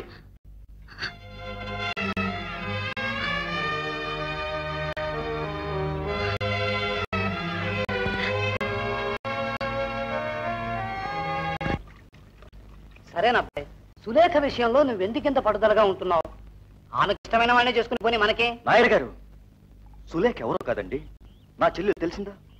అది నాశనం అయిపోతుంటే నేను ఎప్పుడు చూసి ఊరుకోలేను. ఈ కాలంలో పిల్లలు కొన్ని విషయాల్లో ఎందుకు ఇలా మొండి పట్టుదల పడుతూ ఉంటారు? ఎందుకు పిచ్చిగా ప్రవర్తిస్తూ ఉంటారో చెప్పలేకుండా ఉన్నాం. సరే ఒకవేళ ఎవరికీ చెప్పకుండా ఆ అబ్బాయినే సాటుగా పెళ్ళి చేసుకుని పోతే అప్పుడు నువ్వేం చేయగలవు? అందుకే అంటున్నాను. ఆ కాలంలోనైనా ఈ కాలంలోనైనా ఒక అమ్మాయి ఒకరిని పెళ్ళాడుతాను అని పట్టుబట్టింది అంటే అందుకేదో న్యాయమైన కారణం ఉంటుంది.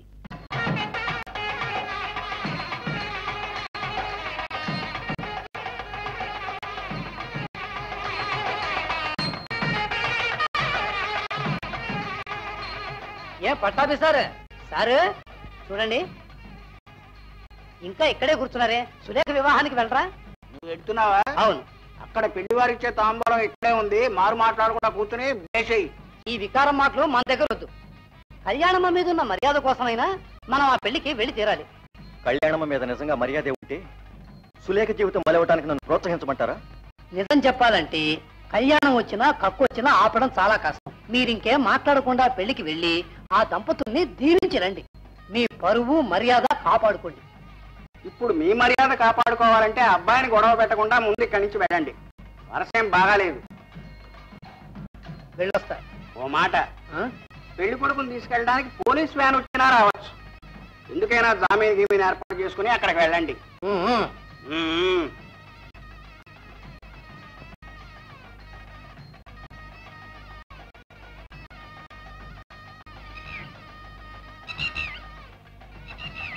ముహూర్తానికి టైం అవుతుంది. మీరు వస్తున్నారా లేదా అని అక్కయ్య అడిగి రమ్మంది నా మాటే లెక్క చేయని వాళ్ళకు ఎందుకు ఇంత అపేక్ష కలిగింది? ఆడపిల్లి వారి తరఫున నేను అక్కయ్య తప్ప మరెవరూ గుళ్ళో లేరు. ఆ మగ పెళ్ళి వారి సైడ్న ఒక్క అమ్మాయి కూడా అక్కడికి వచ్చి ఉండదే. అది మాకు సంబంధం లేదు. ఇంతకీ వస్తున్నారా లేదా?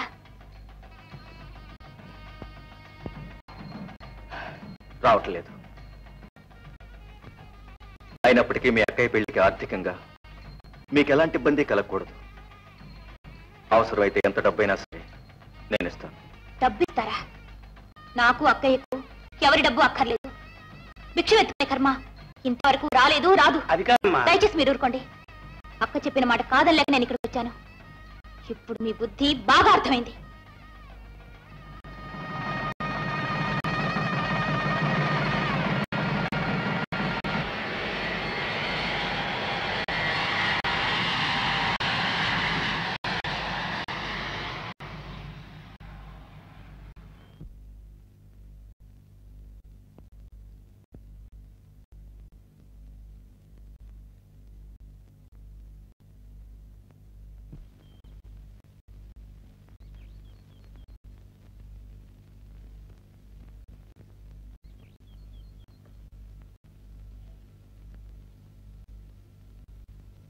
ప్రీత? ప్రీత? బజారు పోలేదా? ఏమిటా చూస్తావు? బజారుగా ఇప్పటికే బజారు పాలయ్యానుగా. ఎందుకు ప్రీత విరక్తిగా మాట్లాడతావు? నా చుట్టూ ఉన్న వాళ్ళంతా అపార్థం చేసుకుంటూ హృదయాన్ని డబ్బించి కొందాం అనుకుంటున్నప్పుడు నాకు విరక్తిగా మరింకే ఉంటుంది? జరిగిన దానికి నాకు బాధగానే ఉంది. పట్టాభికి హృదయమే లేదా? తను అలా మాట్లాడడం బాగులేదు. హృదయం ఉందో లేదో వారికి కొంత తెలివి ఉంది. ప్రీత నా మట్టుకు నాకు తెలివి ఉందో లేదో కాస్త హృదయం ఉంది. అదెవరూ అర్థం చేసుకోరే. దాన్నెవరు బెరవాడరే. గొప్పవాళ్ళ హృదయాన్ని వెలకట్టడానికి తగిన స్తోమత మాకు లేదు.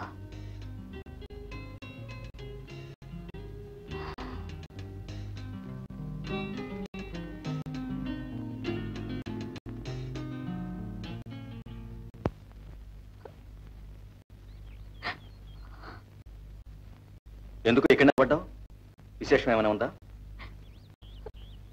ఎందుకు ఏడుస్తున్నావు? చెప్పు.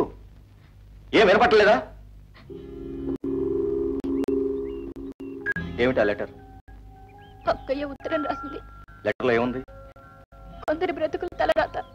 అర్థం పట్టం లేకుండా చెప్తే ఎలాగా? మా అమ్మ దేనికి బలైందో ఆ వారసత్వం మాకు వచ్చిందండి ఇంతకీ ఏమైందో చెప్పు. అక్క ఇది అమ్మ బ్రతికి అయింది.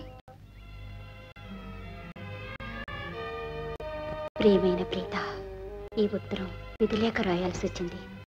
నేను కన్న కలలన్నీ కలలైపోయాయి. ఆయన నన్ను అనుమానించి అవమానిస్తున్నారు. అమ్మ గురించి తెప్పుతూ నువ్వు అలాంటి దానివే అంటున్నారు ఒక్క లంగాతోనే నన్ను ఇంట్లో ఉంచుతున్నారు. ఎక్కడికైనా పారిపోతానన్న భయంతో నన్ను చిత్రహింస చేస్తున్నారు.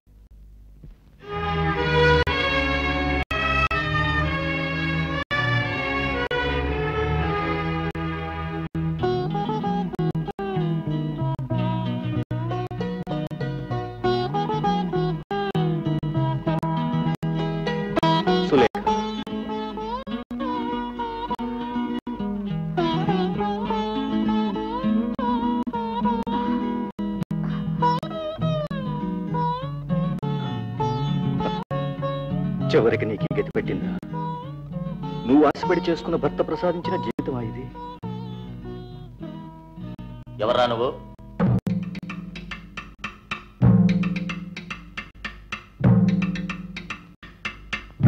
ఓ నువ్వేనా ఈవిడ మొగుడివి. అవునరా. అందుకేనా ఎలా బాధ పెడుతున్నావు?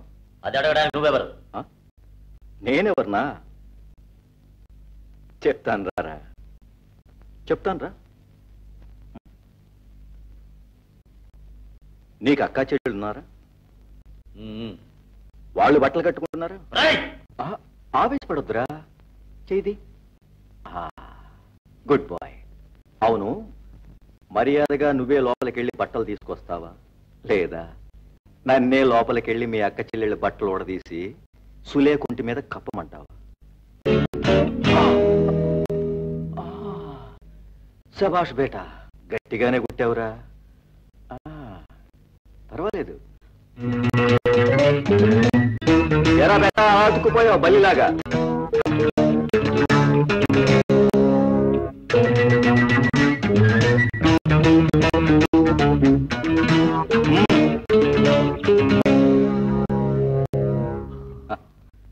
ఇదేరా బెజవాడ కాసా? కట్టుకున్న పెళ్ళానికి బట్టలు లేవు. నీకెందుకురా షర్టు ప్యాంటు? తీరా. తీరా? తీ!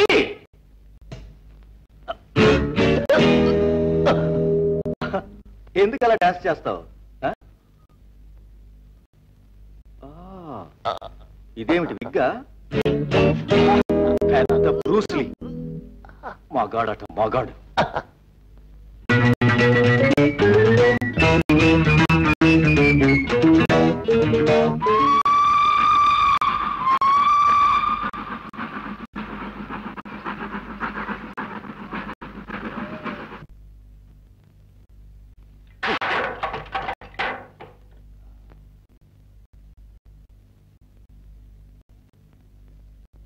మీ అక్కను చూసావా బాంబే రిటర్న్.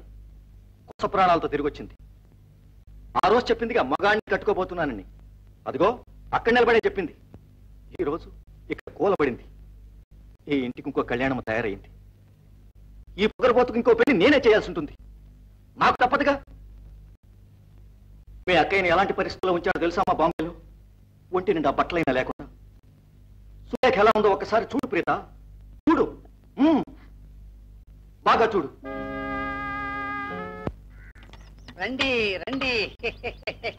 రండి. కథారచయిత గారు క్షమేనా? ఏమిటి ఎప్పుడూ లేని మా పుట్టు పక్కకు వచ్చారు. మీతో ఒక ముఖ్యమైన విషయం మాట్లాడాలి. నాతోనా. రండి పెరట్లో పోయి మాట్లాడుకుందాం. రండి. ఒరే కళద్దాలు రెండు స్పెషల్ తీసుకురారా? రా బాబు. రే త్వరగా తీసుకురారా? కూర్చో బాబు. ఏంటి బాబు? ఇప్పుడు సులేఖ పరిస్థితి మీకు తెలుసు కదా? తెలుసు. ఏం చేస్తావు నాయన? పట్టాభిగా నాకు ఎంతగానో చెప్పారు. ఆ పిల్ల వింటేగా ఇక మీద ఈ ప్రపంచంలో ఆమె ప్రశాంతంగా ఎలా జీవిస్తుంది? కష్టమే మరి. ఇక మీద సులేఖను ఉదార బుద్ధితో పెళ్ళాడడానికి ఎవరైనా ముందుకొస్తారా? అటువంటి ఆదర్శ పురుషులు ఈ ప్రపంచంలో ఎక్కడా ఉండరు బాబు. ఆమెకొచ్చిన పరిస్థితి మూలంగా ప్రీతా బ్రతుకు కూడా పాడవుతుంది. అవును సుమా కాకుని లోకులు. బాలయ్య ఇక మీద అమ్మాయిల బ్రతుకుల్లో చిరునవ్వుకి తావులేదా? లేదు. దేవుడు ఆ అదృష్టం తుడిచేశాడు. బాలయ్య ఇంతవరకు వీలు కాదు వీలు కాదు జరగదు జరగదు అనుంటున్న విషయం నేను వీలవుతుంది జరుగుతుంది అని నిరూపిస్తా. ఏమంటున్నావు ఆయన సులేఖను పెళ్ళాడడానికి నేను సిద్ధంగా ఉన్నాను. నువ్వా? మనస్ఫూర్తిగా చెప్తున్నా. బాలయ్య సులేఖ ఎలాగైనా ఈ పెళ్ళి కొప్పించే బాధ్యత మీరే తీసుకోవాలి. ఇంతకు మించిన ఆనందం నాకేముంది ఆ పట్టాభిరామం మాత్రం దీనికి అడ్డు పెట్టకుండా ఉండాలి. సామాన్యంగా ఎటువంటి పెళ్ళి కొడుకు వచ్చినా పట్టా ఒప్పుకోదు. నాకు అదే భయం. అందుకే మీ దగ్గరికి వచ్చా.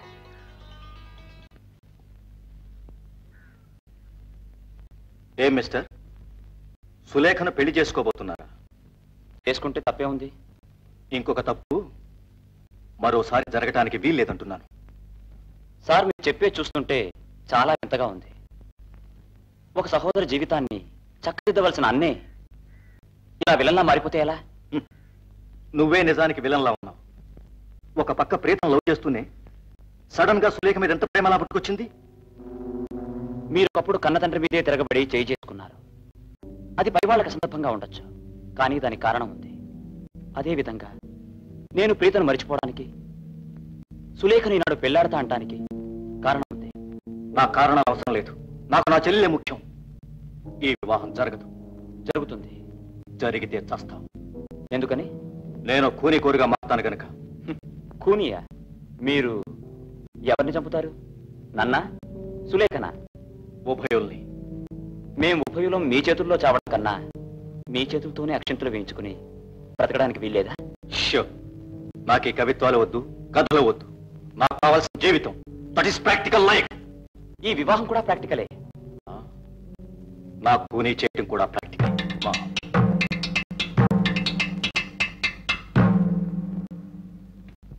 పనికి మాది పడటాన్ని కట్టుకుంటే ఇంతే. తలుచుంటే ఏడుపు వస్తుంది. ఎందుకు ఏడవటం? సురేఖ నా బిడ్డరా? నా బిడ్డ. నాకు పుట్టిన బిడ్డ. నేను అన్యాయాన్ని భరించలేనే. కానీ నేను భరిస్తాను.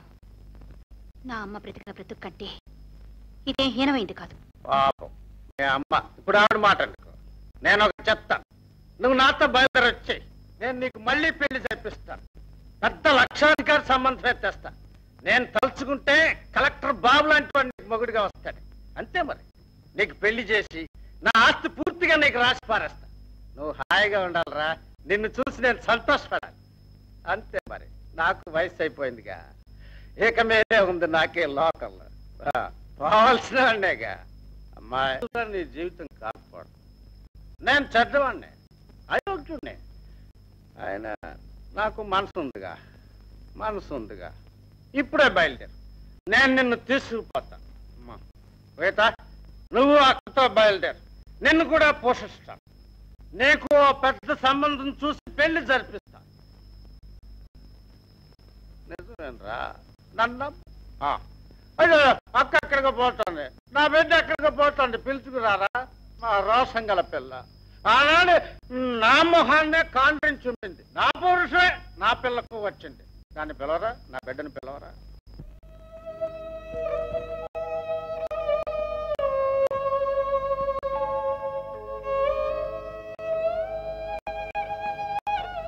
వారికి ఏం చెప్పకుండా నువ్వు ఇక్కడ కూర్చుంటే ఎలా?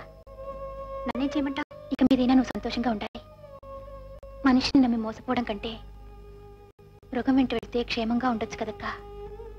ఏ మృగంతోనూ? ఏ వెళ్ళక్కర్లేదు. ఎందుకు ఇలా నా మనసును చిత్రవత చేస్తున్నారు? బలవంతం చేయట్లేదక్కా. నీ శ్రేయస్సు కూడా చెప్తున్నా వేరే ఏమీ లేదు. నిన్నిలా ఒంటరిగా ఇక్కడ వదిలిపెట్టి నేనెక్కడికో వెళ్ళి బ్రతకల్లా అమ్మ చనిపోయినాడు ఏమన్నావు? ఇక మీద నేనే నీ అమ్మనని అప్పుడు అలా అని? ఈనాడు నన్ను నువ్వే వెళ్ళిపోమ్మంటావా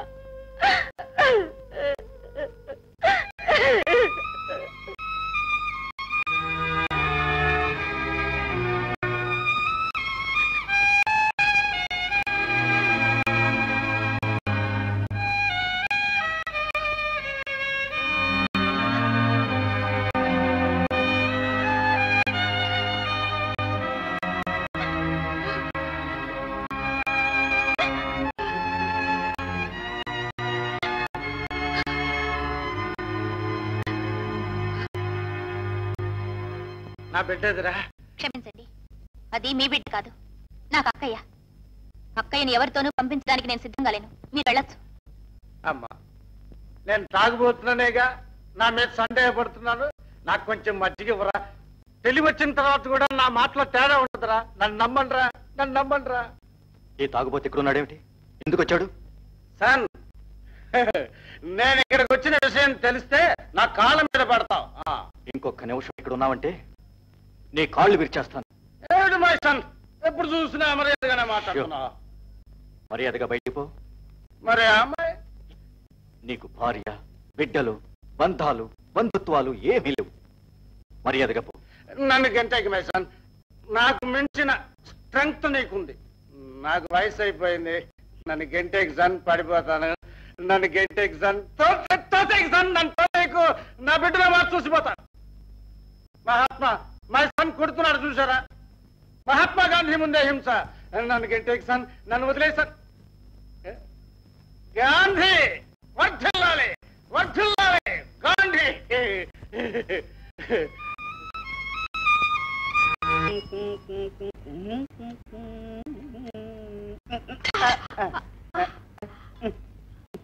ఏమిటయ్యా? ఈ పక్క నుంచి పో. చెప్తాం. క్షమించాం పో. ఏయ్! అరే రే, ఇంకా దిగలేదా మీకు? నిన్ను నాలుగు తన్నేవాళ్ళు లేరనేగా నీ ధీమా? తనకుండానే చెప్పండి ఇప్పుడు ఏమైపోయింది? నా బిడ్డ సులేఖ ఇంకొక పెళ్ళి చేసుకోబోతున్నారు విన్న అంతే కదా చేసుకుంటే నష్టమేమిటి? నేనున్నంత వరకు అది జరగదు జరగడానికి ఒప్పుకోను. నా మాట మీద జరిగిందా? నాకున్న పొరవైపోతుంది. ఒకటి చెప్పమంటారా? మ్, గురించి వాళ్ళు మరోలా అంటున్నారే? అదే మీ కడుపున పుట్టటమే పెద్ద అవమానం అని అంటున్నారే వాళ్ళు! బాడుగు సైకిల్ బాడుగు సైకిల్.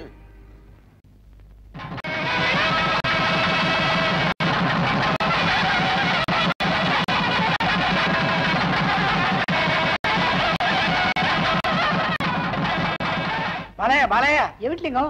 సర్వం అయిపోయింది. సులేఖ అమ్మకు కథలు రాసే పెద్ద మనిషికి పదిహేను నిమిషాల ముందే గణపతి కోవిల్లో పెళ్ళైపోయింది. మంచిదే కదా అబ్బాయి. ఈ విషయం పట్టాభికి తెలిస్తే ఏం జరుగుతుందో? జరగనివ్వండి. లోకం పోకడ చూశారా? పై వాళ్ళ కూతుళ్ళకు రెండో కళ్యాణం మూడో కళ్యాణం ఈజీగా జరిగిపోతున్నాయి. ఆ. పిల్లలకి మొదటి కళ్యాణమే ఇప్పటివరకు కాలేదే.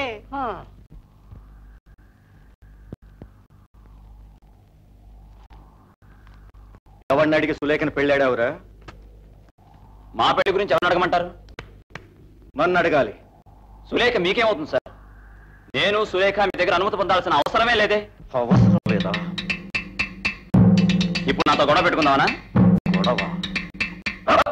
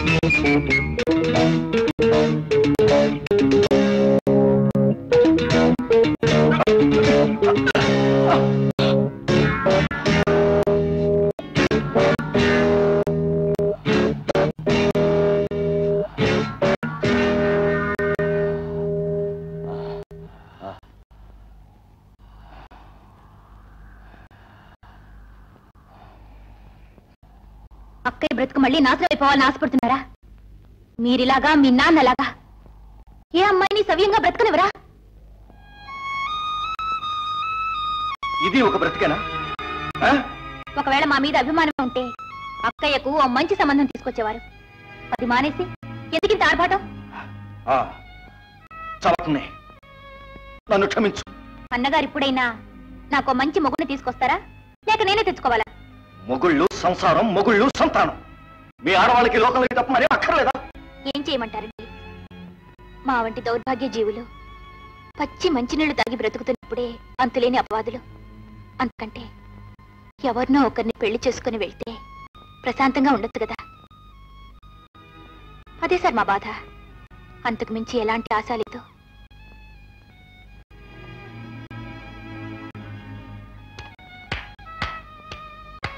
సభాష్ మీకింట్లో ఉన్న ఆడపిల్లల్ని పోషించడం చేత కాలేదు అల్లరి గొడవ గలాట. నిజంగా మీరు మగాళ్ళేనా?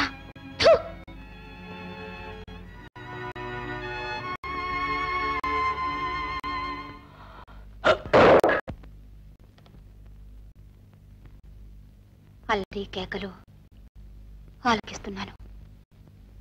అయితే మెట్టెల సబడి మాత్రం ఈ ఇంట్లో వినపట్టలేదు కావాలనుకు కావాలనుకుంటే బంగారు వస్తువులు ఎన్నో పెట్టుకోవచ్చు. అదో పెద్ద విషయం కాదు. కానీ నేనాశించింది మెట్టెల సభ మళ్ళీ ఇంట్లో అందరం వినాలి. అది అమ్మ పోయాక ఆ ధ్వని ఎవరు వినలేదే. అయితే వినటానికి అవకాశం వచ్చింది. నా పెళ్ళి వల్ల. అందుకోసమైనా నా పెళ్ళిని ఆమోదించలేరా?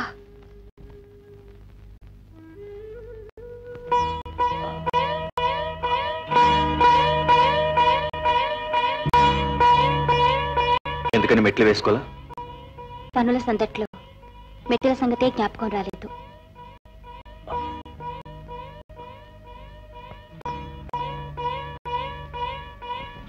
సరే. నేను వెళ్ళి తీసుకొస్తాను.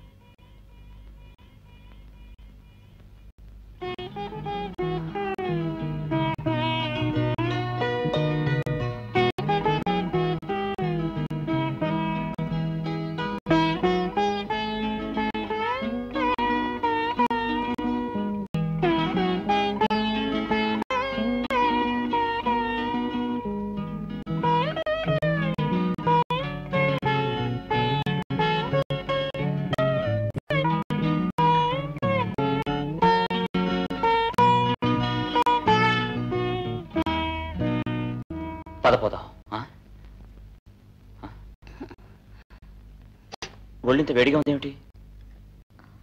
నీకు జ్వరం వచ్చినట్టుంది. పోయి పడుకో. నన్ను కట్టుకోవడం వల్లనేగా ఇన్ని గొడవలు వచ్చాయి. చచ్చా ఇదంతా ఓ తమాషా. ఏ ప్రీత తగిన బుద్ధి చెప్పొచ్చావి? పట్టాబెక్కడా అక్కయ్యకి మెట్టెలు పట్టడానికి వెళ్ళారు.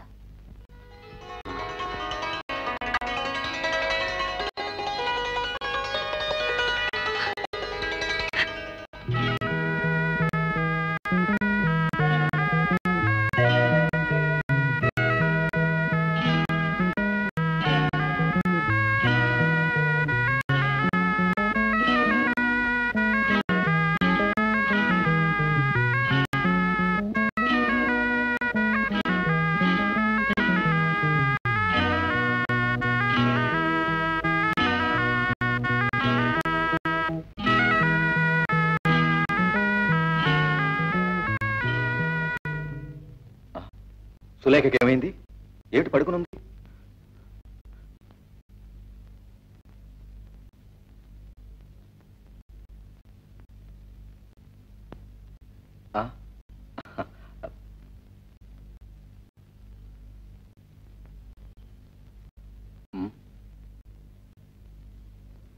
ఈ మెట్టెలతో ఇక అవసరం లేదు. ఏ? మెట్టెలు పెట్టుకునే లాభం. వినే అవకాశం లేదే? ఏమిటా వాగుడు? సులేఖకి మీద జీవితాంతం నడవలేదు. నడవలేదు. సులేఖకు పక్షవాతం. ఈ జ్వరానికి అదే కారణం. సులేఖ మరి నడవలేదు.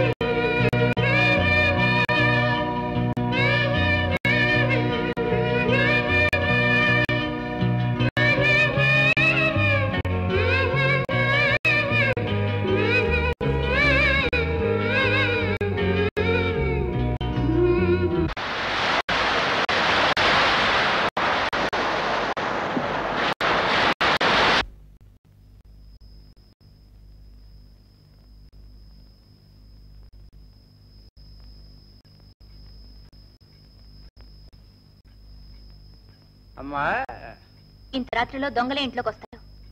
అలా మీరెందుకు వచ్చారు? నేనేం దోచుకోవడానికి రాలేదు. దోచుకోబడ్డ అమ్మాయిని చూడటానికి వచ్చాను.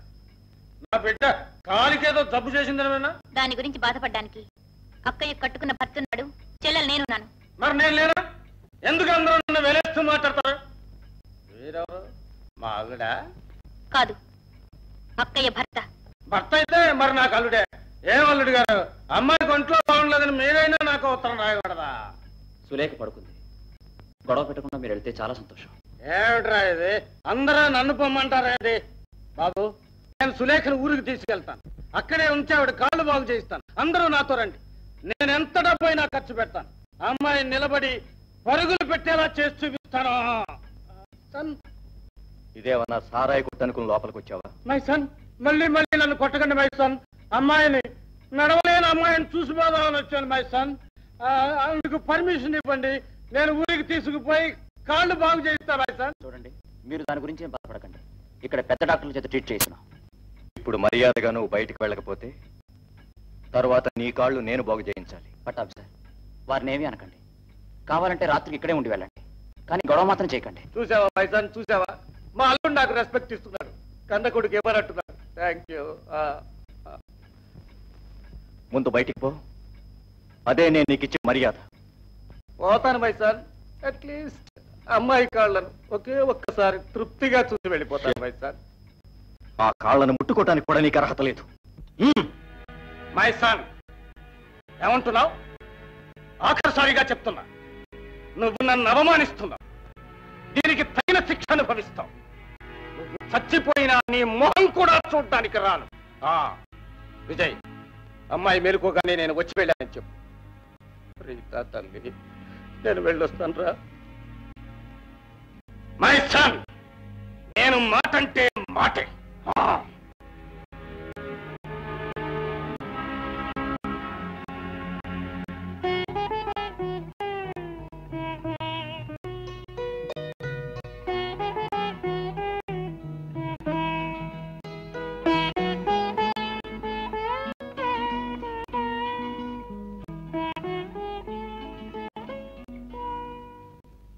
ప్రీతాకి మీరు మంచి సంబంధం చూడాలి. ఉండండి ఉండండి. ఇప్పుడే ఐదు నిమిషాలు ఓ డజన్ మంది పెళ్ళి కొడుకుని తెస్తాను. తొందరపడకండి. ఇదేదో సాంప్రదాయం కోసం జరిపించే పెళ్ళి కాదు. నా ఆత్మతృప్తి కోసం. నా చెల్లెలు నూరేళ్ళ జీవితాన్ని బుద్ధిమంతుడైన ఒక అబ్బాయి చేతికి అప్పగించాలి. మళ్ళీ వాళ్ళ జీవితంలో ఆనందం కలిగించాలి. మీ సదుద్దేశం నాకు అర్థమైంది. చనిపోయిన ఆ తల్లి దురవస్థ సులేఖకు దాపురించినట్టు. ఈ కుటుంబంలోని ఆఖరి పిల్లకు కూడా రాకూడదు. రాబోయే పెళ్ళి కొడుకు చదువుకున్న వాడైనంత మాత్రాన సరిపోదు. చక్కని క్యారెక్టర్ ఉన్నవాడై ఉండాలి. ఇప్పుడు చూపించబోయే అబ్బాయి ఈ సిటీలో సెకండ్ బెస్ట్. ఫస్ట్ వ్యక్తి ఎవరో తెలుసా? అది మీరే. ఇంకెప్పుడు? ఈ కుటుంబంలోని ఆడబడుచు మోసపోకూడదు. ఆ ఇంట్లో మెట్టెల సవడి ఎల్లప్పుడూ ధ్వనించాలి మీ మంచితనం జయిస్తుంది సార్. మిస్టర్ లింగం. ఏమిటి సార్?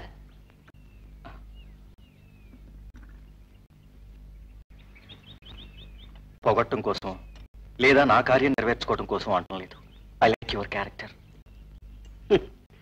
నా గుణాన్ని అయితే మెచ్చుకున్నారు కానీ నా పరిస్థితికి విచారిస్తారు సార్. నో. ఒక మనిషి గుణవంతుడైతే ఎన్ని కష్టాలనైనా జయిస్తాడు. ఇంకో గుడ్ న్యూస్. ఏమిటి సార్? నాకు కళ్యాణ యోగం వచ్చింది. వెరీ గుడ్ కంగ్రాచులేషన్స్ పిల్లవారు సార్? అభ్యంతరం లేకుంటే మీ ఆరుగురు అమ్మాయిల్లో ఒకరిని నేను పెళ్ళాడటానికి సిద్ధమే సార్? నేను చెప్తున్నది నిజమే. నేనేం నేరం చేశాను? ఇలా మీరు వెటకారం చేస్తే నేను భరించలేను సార్. ఇది వెటకారం కాదు. అట్ ద సేమ్ టైం మీరు చేస్తున్న ఉపకారానికి నేను చేయబోయే ప్రత్యుపకారం కాదు లంచము కాదు. ప్రీతకు పెళ్ళైన తక్షణం మీ అమ్మాయిల్లో ఒకరిని నేను మనస్ఫూర్తిగా పెళ్ళి చేసుకుంటాను. సార్ మిమ్మల్ని దైవమని పూజించలేను. మహాత్ముడని పొగడలేను. ఈ లోకంలో ఒక అపూర్వమైన వ్యక్తిగా ఒక మానవత్వమునిగా నేను పూజించుకుంటాను. ఎప్పుడు సార్ దేవుడు? నేను మొక్కని దేవుడు ఉన్నాడా? కానీ ఒక్క దేవుడు కూడా నన్ను కరుణించలేదు. నిజానికి ఈనాడు మీరే నన్ను కరుణించారు. మిస్టర్ లింగం.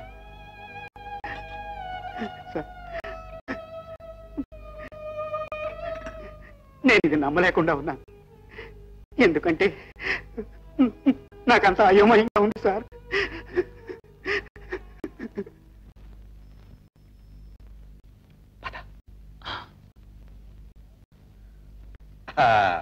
ఏమ్మా ప్రీత మిరపకాయలు ఎండ పెడుతున్నావా ప్రీత దగ్గర విశేషం ఉంది.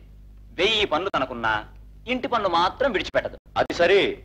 పరిశుభ్రతలో ప్రియతకు మించిన పిల్ల ఈ ప్రపంచంలో ఎవ్వరూ లేరు. ఇంత పెద్దింట్లో పది మంది పనిచేసినా ఇంత శుభ్రంగా ఉంచలేరు. ప్రేత ఒక్కతే ఇంత పని చేస్తుందంటే గొప్ప విశేషం. ఎందుకు మీరిద్దరూ కలిసి ఇలా పొగిడేస్తున్నారు? ఉన్న మాట అంటే పొగడతా ప్రేత నీకు కొంచెం కోపం ఎక్కువైనా గుణగణాల్లో నేను జయించటం ఎవ్వరి వల్ల కాదు. ఈ మాటలు వింటే పిచ్చెక్కిలా ఉంది. పెళ్ళైతే పిచ్చదే పోతుంది. ఏమంటున్నారు? ఒకసారి లోపలికి వస్తావా? నీతో మాట్లాడాలి.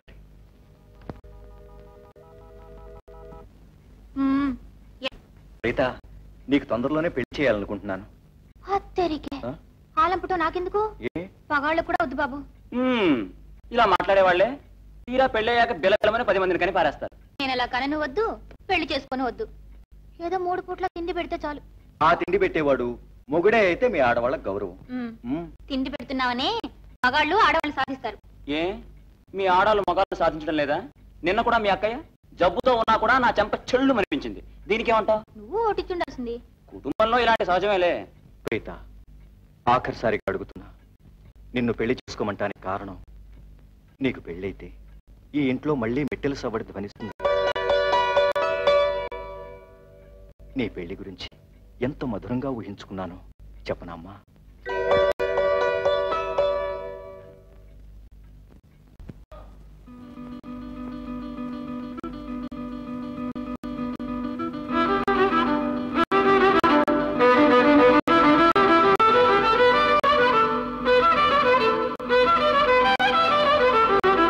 సాగే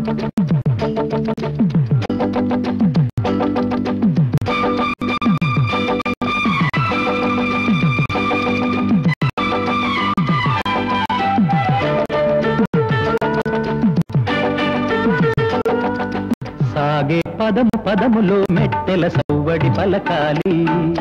సాగే పదము పదములు మెట్టెల సౌవడి పలకాలి. ఎంతో తీయని ఆనాదం ఎన్నడు వీడని ఆనందం. ఎంతో తీయని ఆనాదం ఎన్నడు వీడని ఆనందం. కళ్యాణ రాగాల స్వరజతులే మధురిమలే చిలుకగ సాగే పదము పదములో మెట్టెల సౌవడి పలకాలి. ఏ ఏ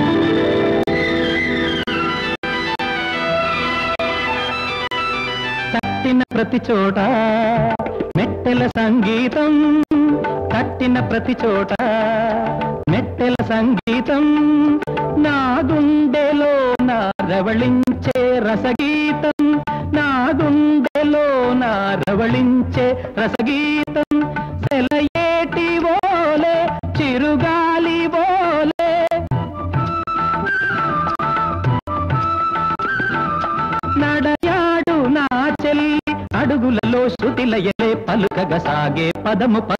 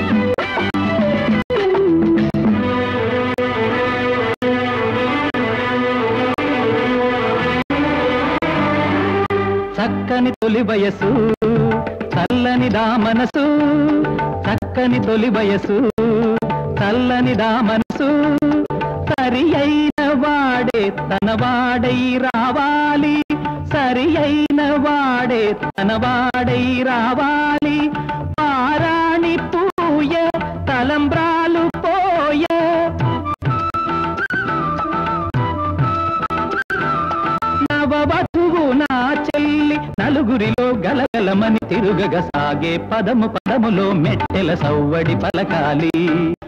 ఎంతో తీయని ఆనాదం ఎన్నడు వీడని ఆనందం కళ్యాణ రాగాల స్వరజతులే మధురిమలే చెలుకగ సాగే పదము పదములో మెట్టెల సవ్వడి పలకాలి. ఏ